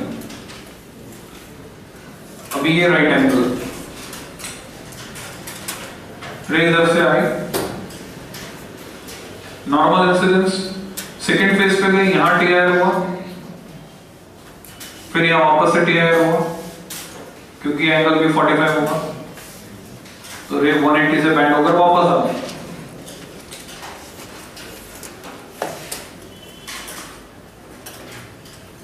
एग्ज़ाम में क्वेश्चन देते हैं। आइसोसेलस राइट एंगल प्रिज्म बना दिया।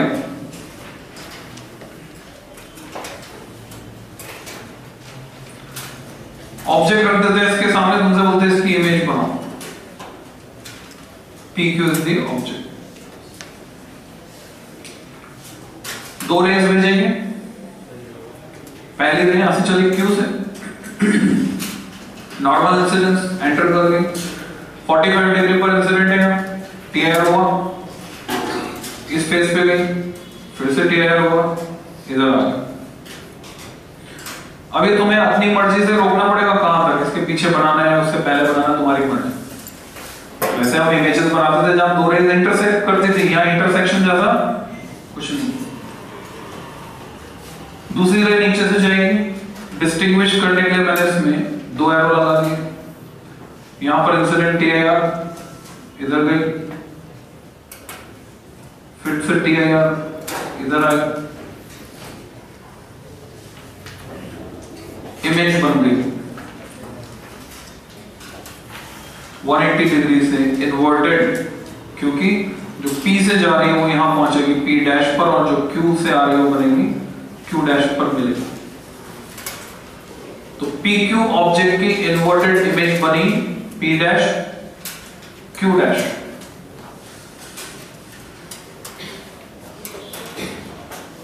बस ये डायग्राम बनाने का नंबर होता है। कभी आधा, कभी एक।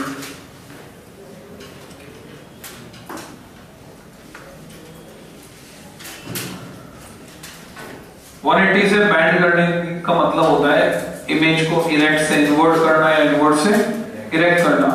एक और फॉर्मेट प्रिज्म का यूज़ किया जाता है, थोड़ा डिफरेंट टाइप का प्रिज्म होता है इस शेप का। प्रिज्म होने की डेफिनेशन अगर तुम देखोगे तो दो फेसेस चाहिए जो नॉन पैरेलल एक जिस पर लाइट इंसिडेंट है और दूसरी जिससे लाइट निकल रही ये भी प्रिज्म है, वो भी प्रिज्म है। ऑब्जेक्ट यहाँ है। पी क्यू क्यू से लाइट रे चलती है। रिफ्रैक्शन होता है टी आर नहीं होता, क्योंकि angle of incidence critical angle से कम है। रिफ्रैक्ट होकर रे इधर जाती है बैंड होकर। अभी टी आई आर होता है। इधर पहुँचती है, फिर रिफ्रैक्शन होता है। इधर पहुँचती है। दूसरी रे पी से गई रिफ्रैक्शन हुआ। फिर टी आई आर हुआ।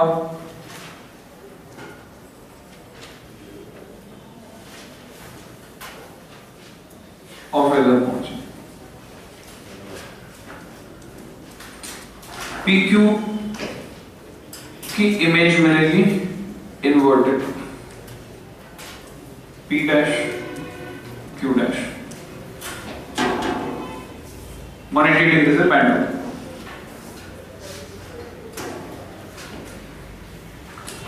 इनकी प्रैक्टिकल एप्लीकेशन क्या है? कहाँ यूज़ करते हैं?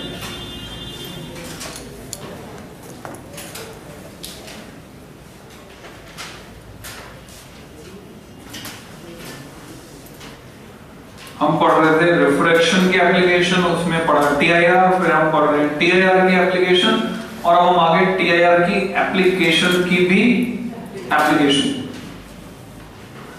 एप्लीकेशन पे एप्लीकेशन पे एप्लीकेशन तो तुमने पढ़ा था पेरिस को शायद छोटी क्लास में बनाया भी हो। पेरिस को भी यूज़ करते हैं पनडुब्बी में।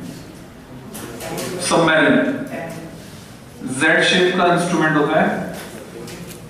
जब तुमने इसको बनाया था तो हो सकता है मिरर यूज़ किया हो। बट इसकी इफ़ेक्टिव वर्किंग के लिए हम प्रिज्म यूज़ करते हैं। Prism is better option than mirror for reflection, क्योंकि प्रिज्म बेस्ड है टीआईआर कुछ भी एब्जॉर्ब नहीं करेगा। 100 परसेंट रिफ्लेक्शन तो अगर मैं एक प्रिज्म यहाँ लगा देता हूँ इस तरह से, दूसरा प्रिज्म यहाँ लगा देता हूँ, किस तरह से लगाना वही समझना है। तो इधर से आने वाली जो लाइट रे है, उसका टीआईआर होगा। इस तक पहुंचेगी 90 डिग्री से। इसने बैंड कर दिया 90 डिग्री से। ये बैंड कर देगा। ऑब्जर्वर यहाँ से देख लेगा टेंशन में ऑब्जर्वर आँख लाल हो गई उसकी। दुश्मन की पनडुब्बी दिख गई उसको। गुस्सा आ गया।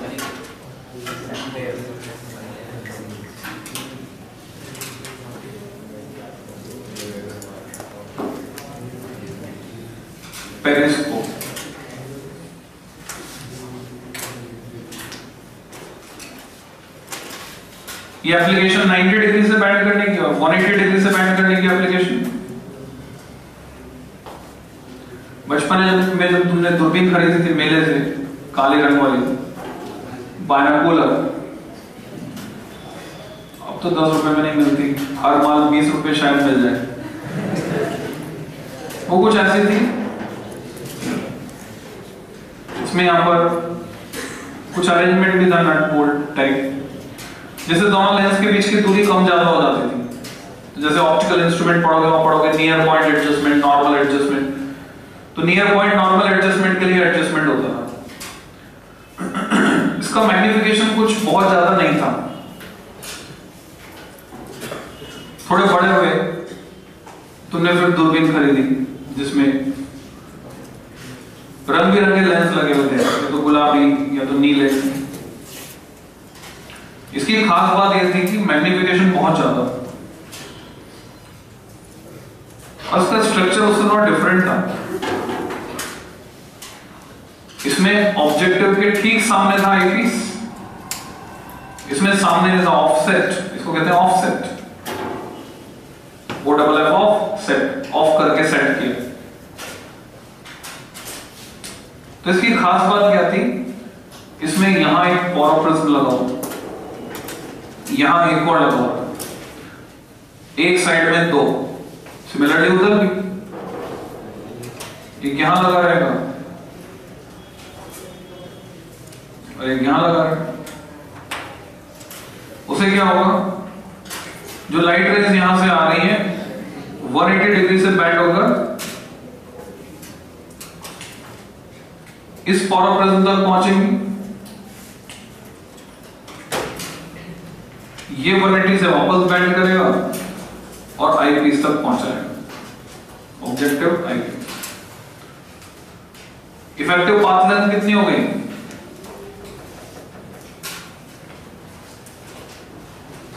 अगर दूरबीन की लंबाई है एल तो लाइट को कितनी डिस्टेंस चलनी पड़ी? Approximately three L three times उससे क्या फ़ायदा मिला? जब हम टेलीस्कोप पढ़ेंगे, वहाँ पर मैग्नीफाइंग पावर का एक्सप्रेशन देखेंगे।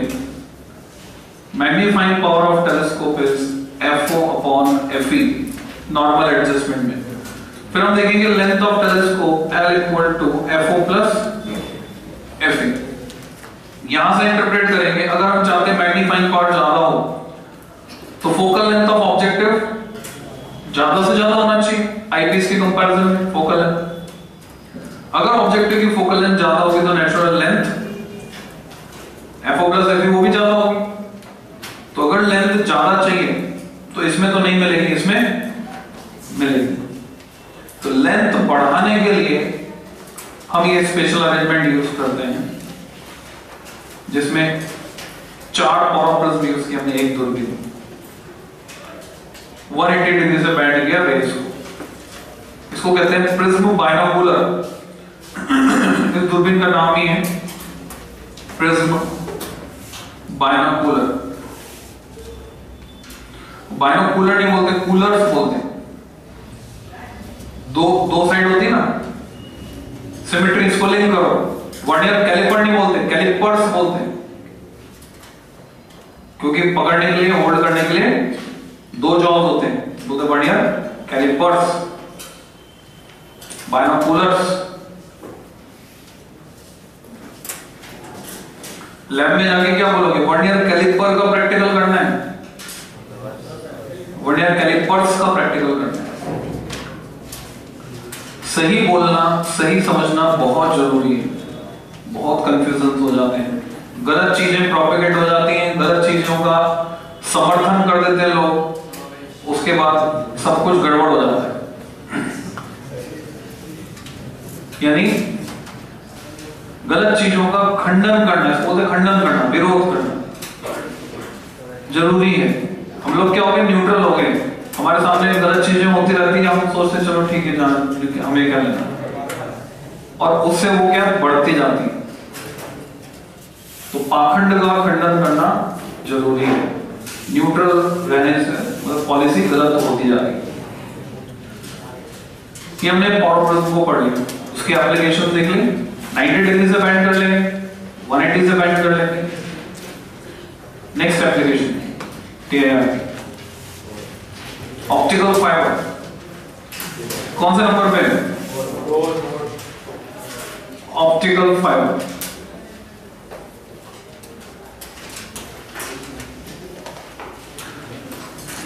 इसमें एक इंपॉर्टेंट एप्लीकेशन जो तुम ऐसे याद रख सकते हो, तुम्हारी साइकिल के पीछे लगी हुई टेल लाइट लाल रंग की वो लाइट, उसके ध्यान से देखोगे तो दानेदार स्ट्रक्चर है और उसमें हर दाना एक पोरोप्रिज्म है। वो क्या कर रहा है? वो पोरोप्रिज्म मतलब रात में तुम साइकिल चला के जा रहे हो, तुमने काले कपड़े पहने हुए तो तुम तो किसी को नज़र नहीं आ रहे। तो पीछे आपसे जो आ रहे हो तुम्हें टक्कर मार सकता है। और ये लाइट तुम्हें बचा देगी जिसमें कई पोरोप्रिज्म लगे हुए हैं। पीछे से आने वाले व्हीकल की लाइट को, ये पोरोप्रिज्म टीआईआर करके 180 से बैंड करके वापस उसके ड्राइवर तक पहुँचा देते तो ड्राइवर को पता चल जाता है आगे कोई साइकिल जा रही है। तो वो लाइट और पोरोप्रिज्म की मदद से तुमको बचाती एक्सीडेंट से ऑप्टिकल फाइबर लैब में जाके तुम देख सकते हो फिजिक्स लैब में हमने लगा रखा ऑप्टिकल फाइबर कैसे काम कर सकता है वो? समझ में आ जाएगा उनको ऑप्टिकल फाइबर्स के स्ट्रैंड्स जोड़ जोड़ के बनाते हैं ऑप्टिकल पाइप कई तरह के सजावटी लैंप में भी लगाते हैं। मेडिकल में एप्लीकेशन इसके एंडोस्कोपी में। स्पाइन जासूसी में काम आता है। अंदर का जो मटेरियल बना है वो क्वार्ट्ज या ग्लास का है, जिसका रिफ्रैक्टिव इंडेक्स हाई है म्यू इक्वल टू 1.7 इसको बोलते हैं कोर जो बनी है, या तो क्वार्ट्ज या ग्लास बाहर इसमें कोटिंग होती है। एक नंबर में सवाल पूछते हैं कि इस कोटिंग का नाम क्या है, इसको क्या बोलते हैं? तो जो कोटिंग होती है, इसको बोलते हैं क्लैडिंग लो रिफ्रैक्टिव इंडेक्स के मटेरियल की कोटिंग होती है। And this coating is called C L A double D I N G cladding जिसका रिफ्रैक्टिव इंडेक्स कम होता है म्यू इक्वल टू अराउंड 1.4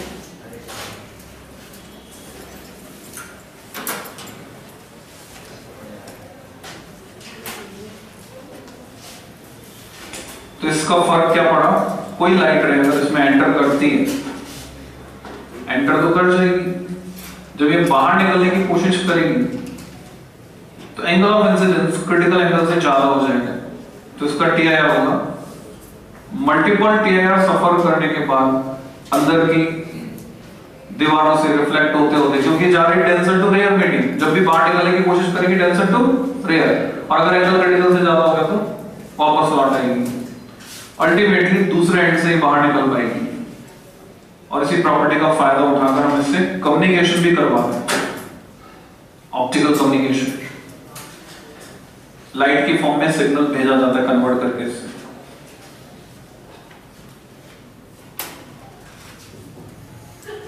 तो तुमसे पूछते हैं ऑप्टिकल फाइबर का प्रिंसिपल बताओ। तो क्या प्रिंसिपल ऑप्टिकल फाइबर का? टीआईआर लिख दो it is its working is based on TIR और इसकी भी एप्लीकेशंस लिखनी है हमको ऑप्टिकल फाइबर की। इसके एप्लीकेशंस में पॉइंट लगा के लिख दोगे।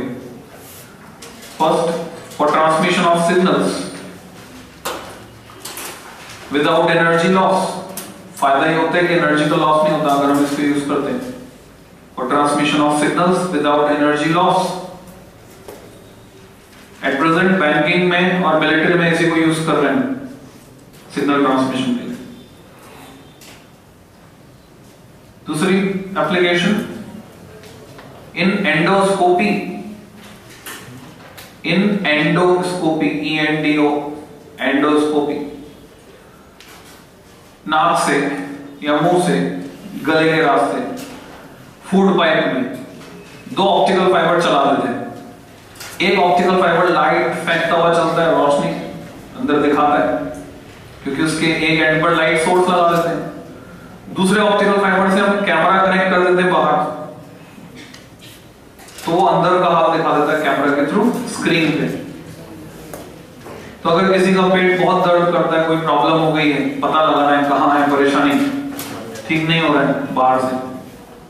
जैसे जब सिचुएशन टिपिकल होती है, तब एक्सरे कराया जाता है नहीं, शुरू में एक्सरे नहीं कराते अगर तो देखते हैं सिम्टम के बेसिस पे दवा दे देते हैं, सही हो जाए तो ठीक है। तो अगर परेशानी सही नहीं हो रही है बार बार रिपीट हो रही है तो उसकी एंडोस्कोपी करानी होगी एंडोस्कोपी कराने पे पता चला कि फ़ूड पाइप का कोई हिस्सा गल गया है, क्योंकि वो सॉफ्ट ड्रिंक के नाम पर जो मिलता है बाज़ार में बहुत ज़्यादा पीता सॉफ्ट ड्रिंक जैसे पेप्सी कोका कोला खाने के बाद भी कोका कोला ओपन हैप्पीनेस तो क्या परेशानी हुई? ये सब इनका pH L around two pH paper से टेस्ट कर सकते हो तुम केमिस्ट्री लैब में। टू है पीएच पीएच जिसका टू होता है वो क्या होता है? हाईली एसिडिक कई बेवकूफ़ लोग तो इसको पीते बोलते हैं एसिडिटी खत्म करनी है हमको। एसिडिटी खत्म होगी एसिड से। तो उसके लिए अलग अलग लॉजिक देते हैं। तो जो कुछ तुम फील करते हो उसमें वो सब साइकोलॉजिकल है। विज्ञापन देख देख के। एक्चुअल में बहुत हार्मफुल इफ़ेक्ट हमारी बॉडी पर ही डालते हैं। क्योंकि बॉडी का डिज़ाइन ऐसा है कि कार्बन डाइऑक्साइड हम बाहर निकालते हैं और ये कार्बोनेटेड ड्रिंक्स जिनमें कार्बन डाइऑक्साइड घुली हुई है बॉडी के अंदर ले जाते हैं। तुम तो ले जाते हो। किडनी को बहुत ज़्यादा वर्क करना पड़ता है इसको बाहर निकालने के लिए। तो 40 साल की उम्र आते आते किडनी भी फेल होती है फ़ूड पाइप गल जाते हैं। दांत तक गल जाता है तो फ़ूड पाइप बेचारा क्या करेगा? उस सबसे पहले उसकी लेयर खत्म होगी लेयर खत्म होने के बाद अल्सर्स बनेंगे। अल्सर्स बनने के बाद ये परेशानी आ गया मेरे को जब से पता चला, मैंने भी पहले जब नहीं पता था अवेयरनेस नहीं थी। कोको कोला में या थम्स अप में आइसक्रीम डाल डाल के खाई आइसक्रीम सोडा उसकी पार्टी की। बाद में पता चल गया, इससे बड़ी बेवकूफ़ी और कुछ नहीं। टोटल बंद। लगभग ये समझ लो तुम पंद्रह साल या उससे ज़्यादा हो गए। किसी शादी में अगर ये सर्व होता है तो मैं वहाँ से निकल लेता हूँ मौके से मतलब देश के साथ भी गद्दारी है सारे जो पैसा विदेश में जाता है। अवेयरनेस आने के बाद आँखें खुल गई तो अब ये जो है चीज़ें हैं फ़ूड पाइप कहाँ से जरा अब उसको पता चला लेकिन कैसे पता चला? कैमरा पे दिख गया। ठीक है एंडोस्कोपी का पर्पस सॉल्व हो गया। अब ऑपरेट करके क्या करेंगे? उतना टुकड़ा काट के निकाल देंगे, बाकी को जोड़ देंगे, या फिर वहाँ पे प्लास्टिक की ट्यूब तो वो लगाएँगे, जैसे सिचुएशन होगी एक बार बॉडी खुल गई तो वैल्यू थोड़ी कम हो जाती है बॉडी की जैसे मोबाइल खुल गया या कोई इलेक्ट्रॉनिक आइटम खुल गया, उसकी वैल्यू कम हो जाती है। रिलायबिलिटी थोड़ी कम हो जाती है। तो वापस बढ़ाने के लिए हमें फिर मेहनत करनी पड़ती है। तो कोशिश करनी चाहिए कि ऐसे सिचुएशन ना आए। नेक्स्ट अगली application in spying in S P Y I N G spying जासूसी में। जासूसी में काम करते ऑप्टिकल फाइबर बहुत बारीक होता है। दरवाजे के झिड़ से, खिड़की के झिड़ से की होल से, कहीं से भी चला सकते हैं। और पीछे कैमरा लगा के अंदर का हाल पता चल जाएगा। तो कमांडो ऑपरेशन करना है। जैसे शाहरुख खान की पिक्चर थी, मैं हूँ ना। तो उसमें होस्टेज बना लिया। आतंकवादियों ने बहुत सारे लोगों को।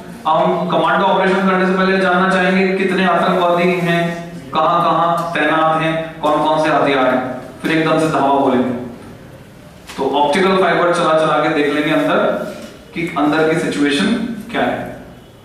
स्पाइन कमांडो ऑपरेशन कर सकते हैं। तो ये पर्टिकुलर टिपिकल एप्लीकेशन है ऑप्टिकल फाइबर के।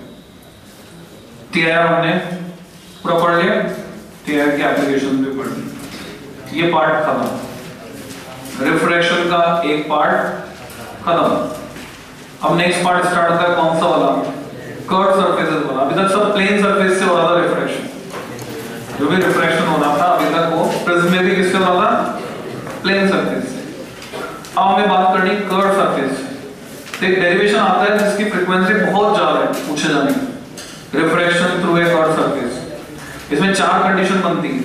कॉन्वेक्स सरफेस से हो सकता है रिफ्रेक्शन कॉन्केव से हो सकता है? डेंसर मीडियम से हो सकता है या फिर रेयर से। पर हमेशा जब भी पूछा जाता है कॉन्वेक्स डेंसर मीडियम वाला केस आता है? तो वो मैं डिराइव अभी रिसेंट सैंपल पेपर में भी आया हो। ऑप्शन में और वाला क्वेश्चन तीन नंबर में आता है। तो three M heading refraction through a curve surface अच्छा टीआईआर पर बेस पीछे एक्सरसाइज में क्वेश्चन है 9.56 456 9.4 9.5 कर सकते हो तुम सब हो जाएँगे।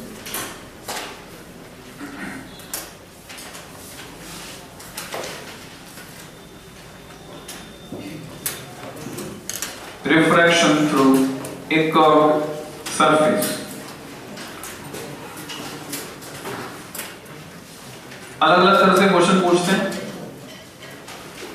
बोलते हैं रिलेशन निकालो। Mu one mu two R object distance U image distance V के बीच। तुम्हें क्लियर होना चाहिए कि इससे मिलती जुलती कोई भी लैंग्वेज आ रही है, तुम्हें क्या ड्राइव करना है? तुम्हें डिराइव करना है mu two upon V minus mu one upon U equal to mu two minus mu one upon R ये वाला डेरिवेशन हम कर तो उसमें लिखोगे केस ए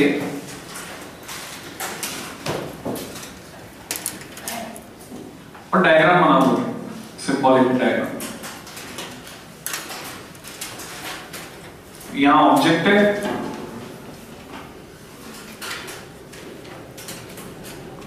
ये रेयर मीडियम ये डेंसर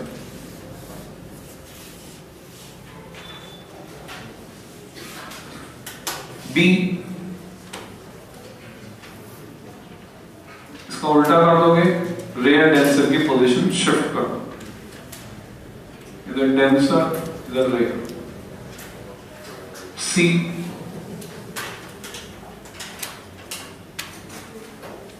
ये object rare denser rare denser दिखाने का और भी तरीका तुम म्यू वन म्यू टू दिखाकर फिर साइड में लिख सकते हो mu one greater than mu two या mu two greater than mu one denser का म्यू हमेशा ज़्यादा होगा चौथा केस कॉन्केव स्फेरिकल सरफेस है? बाहर टेंसर है। ऑब्जेक्ट जहाँ रखा है और रे को जाना है रेयर मीडियम ये चार केस इसमें से हमेशा जो पूछा जाता है वो ये है केस ए बाकी अगर पूछ लिया जाए तो घबराने की कोई बात नहीं है। उसको किया जा सकता है। जब हम साइन कन्वेंशन लगा देते हैं तो चारों केसेस के लिए जो रिज़ल्ट मिलता है वो सेम मिलता है। साइन कन्वेंशन अगर नहीं लगाएँगे तो चार केस के चार रिज़ल्ट पर साइन कन्वेंशन लगा देंगे तो चारों केसेस का रिज़ल्ट सेम वही म्यू टू अपॉन वी इतनी बार दोहरा दूँगा मैं कि तुम्हें भी साथ में दोहरा के याद कर लेना। Mu two upon V minus mu one upon U equal to mu two minus mu one upon half तो उसको डिराइव करते हैं। केस ए पर टिक लगा दिया तुमने, इसका डायग्राम बनाएँगे।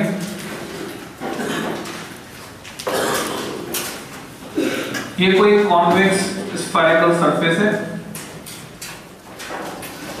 इधर जो मीडियम है, उसका रिफ्रैक्टिव इंडेक्स है। म्यू टू इसके पोल से जाने वाली ये लाइन प्रिंसिपल एक्सिस मान सकते हो, P is the pole aperture is M P M dash तुम देखोगे सारे नोटेशन फैमिलियर है। एक बार जो शुरू किए तो लास्ट तक वही नोटेशन हम फॉलो करेंगे M P M dash point object यहाँ पड़ा है कोई? What is the point object? Point object is medium में है, वो है उसका refractive index mu one and it is given to us mu two greater than mu one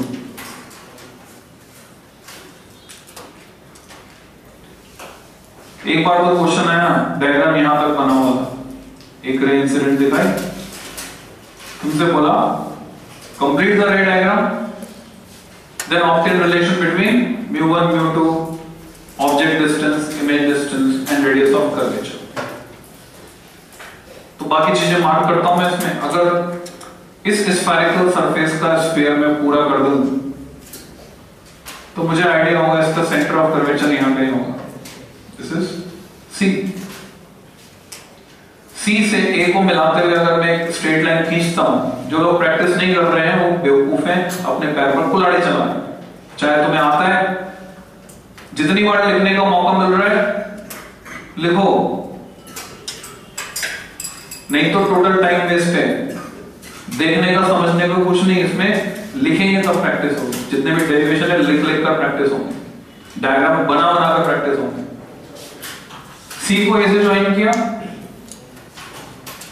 ये नॉर्मल हो गया। इसको मार्क किया। An angle of incidence mark कर सकते हो आई रे रिफ्लेक्ट होगी रिफ्लेक्ट होकर बैंड होगी बैंड होगी। डेंसर मीडियम में जाके नॉर्मल के पास आएगी। नॉर्मल के पास आएगी। फिर मान लो, कहीं यहाँ जाकर प्रिंसिपल एक्सिस को ये मिलती। तो मैं ये मान सकता हूँ कि ऑब्जेक्ट ओ से एक रे जा रही है along the principal axis pole से होकर जा रही है नॉर्मल इंसिडेंस की वजह से सीधी चली जाएगी, कोई बैंडिंग नहीं होगी। अब ये एक रे ये गई दूसरी रे यहाँ से बैंड होकर आई, जहाँ मिलेगी वहाँ पर इमेज बनी पॉइंट ऑब्जेक्ट की पॉइंट इमेज आई। अलग अलग डिस्टेंसेस मेरे को दिखानी है। सारी डिस्टेंसेस हम नापते हैं पोल से, जो साइन कन्वेंशन हम लगाते हैं, उसमें हमने सीखा था। तो पोल से सारे डिस्टेंस नापते हैं ओ से लेकर पोल पी तक के distance object distance, u. Center of curvature तक की distance, radius of curvature, r. Image तक की distance, v. ये डिस्टेंसेस मैंने मार्क की। जो डेरिवेशन मैं करना चाहता हूँ, इसमें जो रिलेशन निकालना चाहता हूँ, उसके लिए मुझे ट्रायंगल्स चाहिए और एंगल्स चाहिए। माना कि ये आई तो दिख रहा है तो ये एंगल ऑफ़ रिफ्रैक्शन आर हो जाएगा। ऑब्जेक्ट पर जो एंगल बन रहा है, उसको हमने अल्फ़ा मान लिया। तो इमेज पर जो एंगल बन रहा है, उसको बीटा बोल देते हैं। अब बचा गामा सेंटर ऑफ़ कर्वेचर पे जो एंगल बन रहा है, उसको बोल देते हैं गामा तुम में से जो बच्चे आर और गामा एक जैसा बनाते हैं, वो ध्यान से बनाए। ये आर है। ये गामा है। Both are different R gamma जैसा नहीं दिखेगा गामा आर जैसा नहीं दिखेगा। तो मुझे एंगल्स तो मिल गए पर ट्रायंगल्स चाहिए रेशियो लेने के लिए। तो मैं क्या करता हूँ पॉइंट ए से एक परपेंडिकुलर ड्रॉप करता हूँ प्रिंसिपल एक्सिस पर, जिससे कि ट्रायंगल्स मिल परपेंडिकुलर का फुट जिस पॉइंट पर मिलेगा, उसको बोलेंगे एन फिर वही फैमिली रोटेशन अभी तक यही करते हैं, आगे भी यही करेंगे। परपेंडिकुलर का फुट एन अब ट्रायंगल्स भी दिख रहे हैं। अब डेरिवेशन कर सकते हैं डायग्राम पूरा हो गया। तो डेरिवेशन कैसे करना है? ये बनाने के बाद लैंग्वेज में लिख सकते हो S I T dot dash dash situation जैसा कि तुम्हें फिगर में दिख रहा है। जो स्टेट बोर्ड वाले वो पूरा डिस्क्राइब करेंगे इसको कि object point object O is line at principal axis a ray OA is incident on curved surface. After refraction, it reaches at I where image I is formed. Various angles. उनको describe करेंगे कौन सा object पर बनने वाला alpha है image पर बनने वाला बीटा है। सेंटर ऑफ़ कर्वेचर पे बनने वाला गामा है, उसके अलावा angle of incidence angle of refraction पूरा डिस्क्रिप्शन एक पैराग्राफ यानी हर बार जब भी स्टेट बोर्ड में आंसर लिखा जाएगा, किसी डेरिवेशन का, एक पैराग्राफ एडिशनल रहेगा। जिसमें डिस्क्रिप्शन होगा। हमने अभी तक जो सीखा हो क्या सीखा? स्नेल्स लॉ सीखा है। तो यहाँ पर भी हम क्या लगा सकते हैं? स्नेल्स लॉ लगा सकते हैं। पॉइंट ए पर लगा सकते हैं वहाँ रिफ्रैक्शन होगा In figure shown, applying Snell's law at point A. In figure shown, applying Snell's law at point A,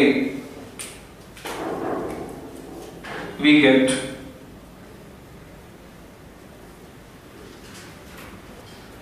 mu2 upon mu one equal to sine A upon sine R ये expression मिला Snell's law का assumption ये है कि M P M dash बहुत छोटा है. Small aperture तो एंगल्स भी बहुत छोटे हैं. यहीं पर शॉर्टकट मारते हुए equivalent I upon R reason reference set में as M P M dash is small तो एंगल्स भी स्मॉल अगली स्टेप मुझे मिलती है mu two times R equal to mu one times I equation one मुझे आई और आर नहीं चाहिए आई और आर हटाने तो मैं इन ट्राइंगल्स में देखता हूँ। आई मुझे दिख रहा है एक्सटीरियर एंगल है, इसको हटाकर मैं लिख सकता हूँ alpha plus gamma but I equal to alpha plus gamma reference side में तुम इसका रीजन दे सकते हो exterior angle is equal to sum of interior opposite angles CBSE board में लिखना ज़रूरी नहीं है, राजस्थान बोर्ड में लिखना ज़रूरी है exterior angle reference, exterior angle is equal to sum of interior opposite angles. Also, मुझे r भी चाहिए। R डायरेक्टली नहीं मिल रहा r तो इंटरनल एंगल गामा है r प्लस बीटा तो पहले मैं इक्वेशन को गामा के टर्म्स में लिखता हूँ. Gamma equal to r plus beta इसको कन्वर्ट करता हूँ. R equal to gamma minus beta इसको नाम दिया इक्वेशन नंबर टू इसको दिया थ्री टू और थ्री से वैल्यूज़ उठाकर वन में रख देते putting these values in equation one तो क्या मिला?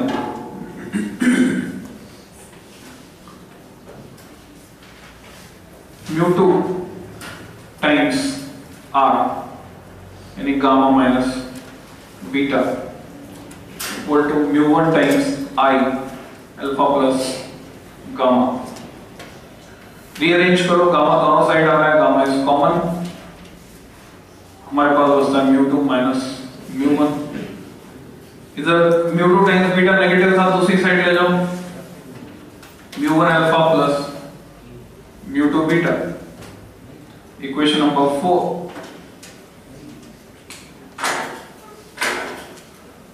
mu one mu two तो चाहिए। अल्फ़ा बीटा गामा नहीं चाहिए।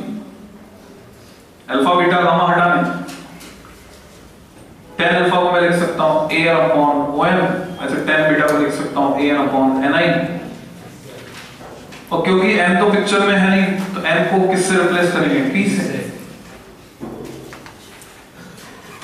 But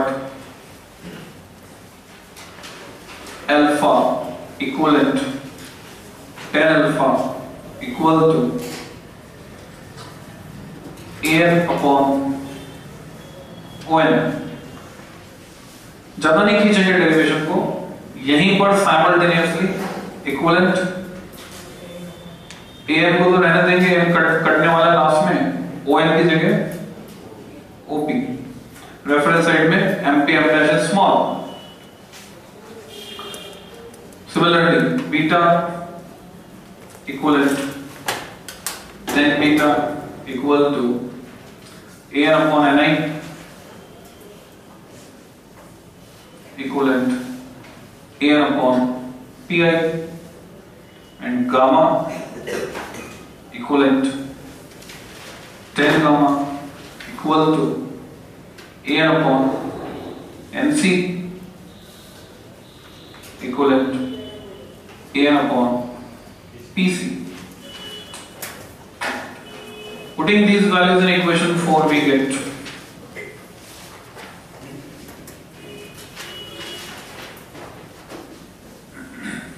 सारी वैल्यूज़ उठाकर इक्वेशन 4 में था।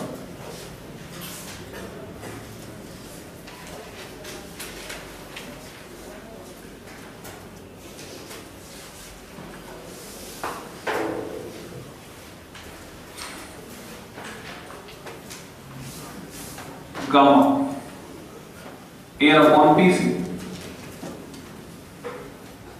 times mu 2 minus mu 1 equal to mu 1 times alpha mu 1 times an upon op plus mu 2 times beta an upon pi देखो link भी कर सकते हो तुम। तुम्हें पता है बीटा इमेज पे बनने वाला एंगल है तो पी आई अल्फ़ा ऑब्जेक्ट पे बनने वाला एंगल है तो OP gamma centre of curvature पे बनने वाला है तो पीसी एन कैंसिल हो गया साइन कन्वेंशन लगा दो फ्रॉम साइन कन्वेंशन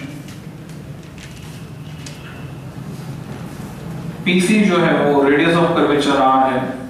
और जिस डायरेक्शन में हम नाप रहे हैं, वो पॉजिटिव डायरेक्शन है प्लस आर ओपी ऑब्जेक्ट के डिस्टेंस है माइनस यू अपोजिट डायरेक्शन में नेगेटिव एक्स एक्सिस के along P I image distance है और इमेज बन रही है पॉजिटिव डायरेक्शन में। तो वी वैल्यूज़ पुट कर देते हैं। Mu two minus mu one upon R equal to जो नेगेटिव टर्म है उसको बाद में शिफ्ट कर देते हैं पॉजिटिव को पहले लिख देते हैं mu two upon V minus mu one upon U तुम में से जो भी बच्चे म्यू और यू एक जैसा बनाते हैं या धोखा खाएँगे मेरे पास बच्चे मैसेज करते हैं आज भी, बोलते हैं, सर, ये mu zero N I solenoid का है। टॉरेट का तो mu zero N I upon two pi R होना चाहिए। इनको क्लियर नहीं है, छोटा एन क्या है, बड़ा एन क्या है? ये क्लियर होना चाहिए। बड़ा N total number of turns है। तो एक्चुअल में वो एन एन बड़ा एक जैसा बना देते हैं, बना के फिर बाद में कंफ्यूज होते हैं। ये क्या है? बड़ा एन और N upon two pi R क्या है? वास्तव में स्मॉल एन है। तो दोनों का एक्सप्रेशन सेम होता है ज़रूरत छोटा एन इनटू आई सॉलोनाइड से तो टॉरेट बनाए हमने वहाँ तो क्लैरिटी होनी चाहिए सिंबल्स में। म्यू यू जैसा मत बनाना यू म्यू जैसा मत बनाना। बनाते तो कंट्रोल करो। कंट्रोल नहीं होता तो मेडिटेशन करो।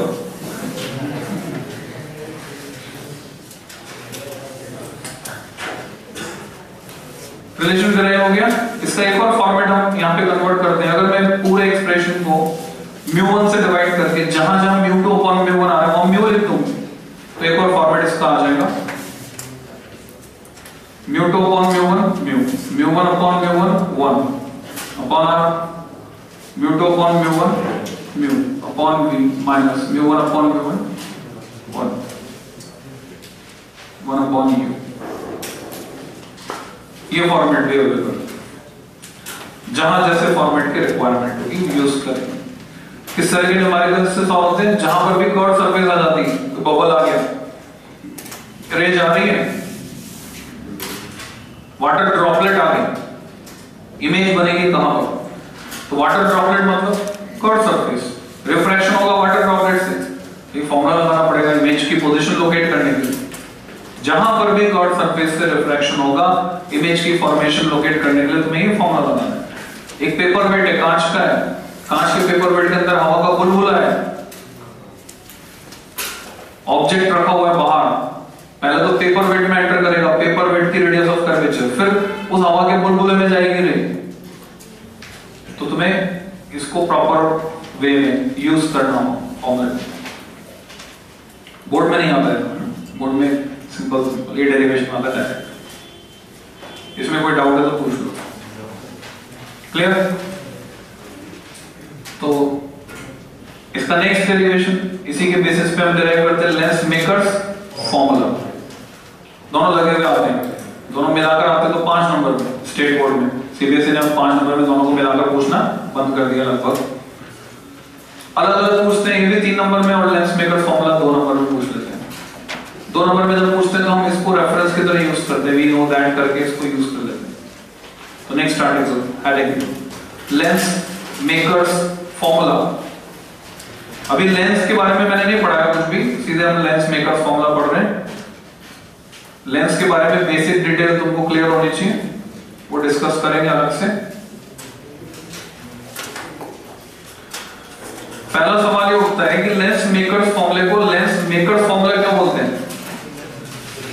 तो रीजन है लेंस बनाने के लिए इस फॉर्मूले का इस्तेमाल किया जाता है, इसलिए बोलते हैं लेंस मेकर फॉर्मूला तो लैंग्वेज में लिखोगे इट इज़ कॉल्ड सो इसको ऐसा इसलिए कहते हैं it is called so because use for manufacturing of a lens it is use for manufacturing of a lens बहुत ही इंपॉर्टेंट फॉर्मूला से कई एप्लीकेशन है, कई तरह के क्वेश्चन सॉल्व हो जाते हैं। It is use for manufacturing of a lens कोई भी लेंस बनाना है तो ग्लास का ब्लैक आता था आजकल तो कंपनी में मैन्युफैक्चर होकर आते हैं, क्योंकि बल्ब में चाहिए। पहले जब पॉपुलेशन कम होती थी, जनसंख्या कम थी आँखें भी कम लोगों की खराब होती थी। तो रेयरली बनाना पड़ता था। रेयरली बनाना पड़ता था तो इंडिविजुअली जो चश्मे की दुकान वाले वही घिस घिस के बनाते थे। क्योंकि फैक्ट्री से मंगाना महँगा पड़ता था। कम क्वांटिटी में कोई भी चीज़ महँगी पड़ती। अब पॉपुलेशन इतनी ज़्यादा हो गई। बल्क में लेंस चाहिए। तो इन्होंने बनाना ही बंद कर दिया। ये लोग नहीं घिसते। नहीं तो पहले खाली ग्लास का ब्लैक खरीदते थे। उसमें घिस घिस कर proper radius of curvature impart करते थे। उससे उसमें पर्टिकुलर पावर आ जाती थी। अब सीधे कंपनी से मैन्युफैक्चर्ड लेंस आ रहे हैं हर पावर हर नंबर के। तो जो स्टॉकिस्ट होता है होलसेलर उसके पास जाते हैं, सुबह तुमसे पर्चा ले लेंगे नंबर का पर्चा तुमने दिया, दोपहर तक लाकर फिट कर देंगे फ्रेम खाली फ्रेम में फिटिंग का काम रहेगा। मैन्युफैक्चर मतलब खुद बनाते कुछ नहीं। तो ये कौन सा फॉर्मूला है? वो कैसे डिराइव करना है? तो एक कॉन्वेक्स लेंस के लिए हम इसको डिराइव करना सीखेंगे। कॉन्वेक्स लेंस में दो कर्व सरफेसेस आएँगी तो दो बार रिफ्लेक्शन होगा एट ए कर्व सरफेस उसकी मदद से इसको डिराइव करेंगे। तो रे डायग्राम बनाना है तुमको। एनसीईआरटी में तीन डायग्राम की मदद से समझाया हुआ है। तुम्हारी मर्ज़ी है। तुम्हें कन्वीनियंट लगता है तो तीन डायग्राम बनाकर वैसे समझाओ। अदरवाइज़ मैं तुम्हें एक डायग्राम वाला तरीका बता रहा हूँ, जो वैलिड है। ये बना सकते हो। ये कोई लेंस है कॉन्वेक्स लेंस इसके मटेरियल का रिफ्लेक्टेड इंडेक्स है म्यू एल इसमें मैं सेंटर लाइन नहीं बना रहा, बाकी सब जगह तो हमें क्या करना है? सारा का सारा रिफ्लेक्शन दिखाना है बेंडिंग दिखानी सेंटर लाइन से। क्योंकि तुम्हारे सिलेबस में सिर्फ़ थिन लेंसेज है। और मैं पहली बार और आखिरी बार इसको क्या मान रहा हूँ? थिक लेंस फ़र्स्ट फ़ेज़ से भी रिफ्लेक्शन होगा सेकंड फ़ेज़ से भी होगा। अगर ये स्फीयर कंप्लीट करता डॉटेड लाइन तो इसका सेंटर ऑफ़ कर्वेचर यहाँ कहीं होगा। और ये स्फीयर कंप्लीट करे। दोनों की रेडियस सेम भी हो सकती है डिफरेंट भी हो सकती है। तो इसका सेंटर यहाँ कहीं। माना कि ऑब्जेक्ट ओ यहाँ रखा है दीपक। दिस इज़ ऑब्जेक्ट ओ एक रे जा रही है अराउंड द प्रिंसिपल एक्सिस इसके ऑप्टिक सेंटर से होती हुई। Optic centre is C lens का सेंटर ऑप्टिक सेंटर और मिरर का centre pole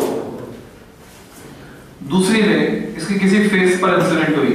This is face one first face second face इनकी रेडियस ऑफ़ कर्वेचर को दिखाने का तरीका क्या है?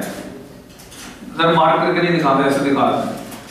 फ़र्स्ट फेस की radius of curvature R one second face की radius of curvature R two ऐसे दिखाते एक रह गई along the principal axis, दूसरी दो एरो लगा के दिखा देता हूँ। यहाँ पे रिफ्रैक्शन होगा फ़र्स्ट टाइम बाहर जो मीडियम है, उसका रिफ्रैक्टिव इंडेक्स है म्यू एम ये भी mu M lens mu L अगर मैं इस फेस पर नॉर्मल खींचता हूँ नॉर्मल क्या होगा? तुम यहाँ से गाइडलाइन ले सकते हो। बस खाली इतना हिस्सा बना रहा हूँ मैं। हालाँकि ये अगर आगे बढ़ाऊँगा तो कहाँ पे जाकर मिलेगी। सेंटर ऑफ़ कर्वेचर पे जाकर मिलेगी। This is normal angle of incidence I point A reflection हुआ बैंड नॉर्मल के पास है.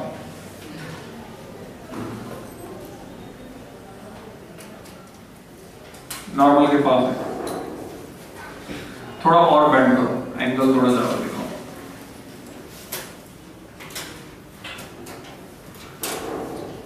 अगर ये सेकंड फ़ेज़ नहीं होता तो ये सीधी जाकर यहाँ पर मिलती और इमेज बनाती। बनाती बन नहीं आई डैश इंटरमीडिएट इमेज और सेकेंड फ़ेज़ एग्जिस्ट कर रहा है। तो फिर से देखेंगे नॉर्मल तो ये जो C2 है, इससे लिंक करके नॉर्मल बनेगा। N2 तो ये नॉर्मल से दूर हटेगी, के पास जाएगी। दूर हटेगी दूर हटेगी तो इससे पहले ही फोकस हो। जाएँगे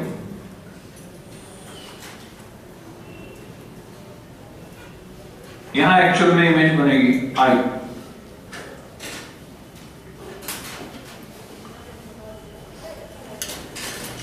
सारे डिस्टेंसेस हम नापेंगे सी से तो सी से नाप कर मैं डिस्टेंसेस मेंशन कर देता हूँ इसमें। जैसे ऑब्जेक्ट की distance U actual image for instance, V.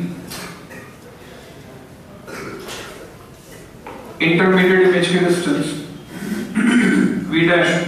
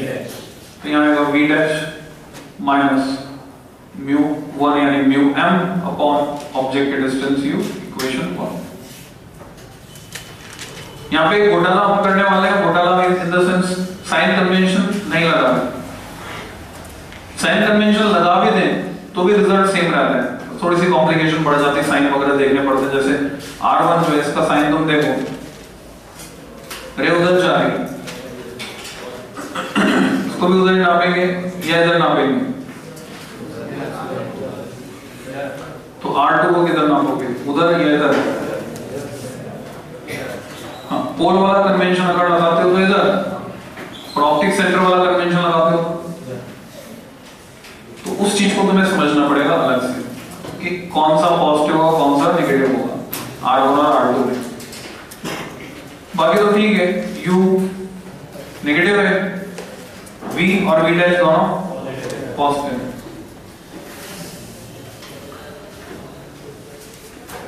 Now writing it for refraction at second phase now writing it for refraction at second phase. Second phase पे refraction के लिए लिख देता हूँ तो सेकंड फ़ेज़ पे जो रिफ्रैक्शन हो रहा है फ़र्स्ट मीडियम लेंस है और सेकंड मीडियम मीडियम है म्यू एम तो ये आएगा म्यू टू की जगह mu M minus mu one की जगह mu L upon radius R two equal to यहाँ पे आएगा म्यू एम इमेज जो बन रही हो वी डिस्टेंस पर बन रही है माइनस यहाँ आएगा म्यू एल सेकेंड फ़ेज़ के लिए जो ऑब्जेक्ट है, ये image I dash virtual object का काम कर रही है तो ये ऑब्जेक्ट की तरह डिस्टेंस ऑब्जेक्ट डिस्टेंस है, v डैश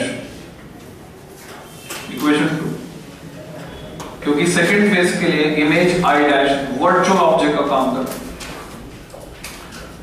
लिखोगे as both the faces coexist दोनों फेसेस कोएग्जिस्ट करते हैं। As both the faces coexist so, adding equation 1 and 2 we get adding equation one and two we get जोड़ दो दोनों। कॉमन ले लो mu L minus mu M बाकी बचता है। One upon R one minus one upon R two इधर एक term cancel हो गए, बाकी बचा तुम्हारे पास। Mu upon V minus mu upon U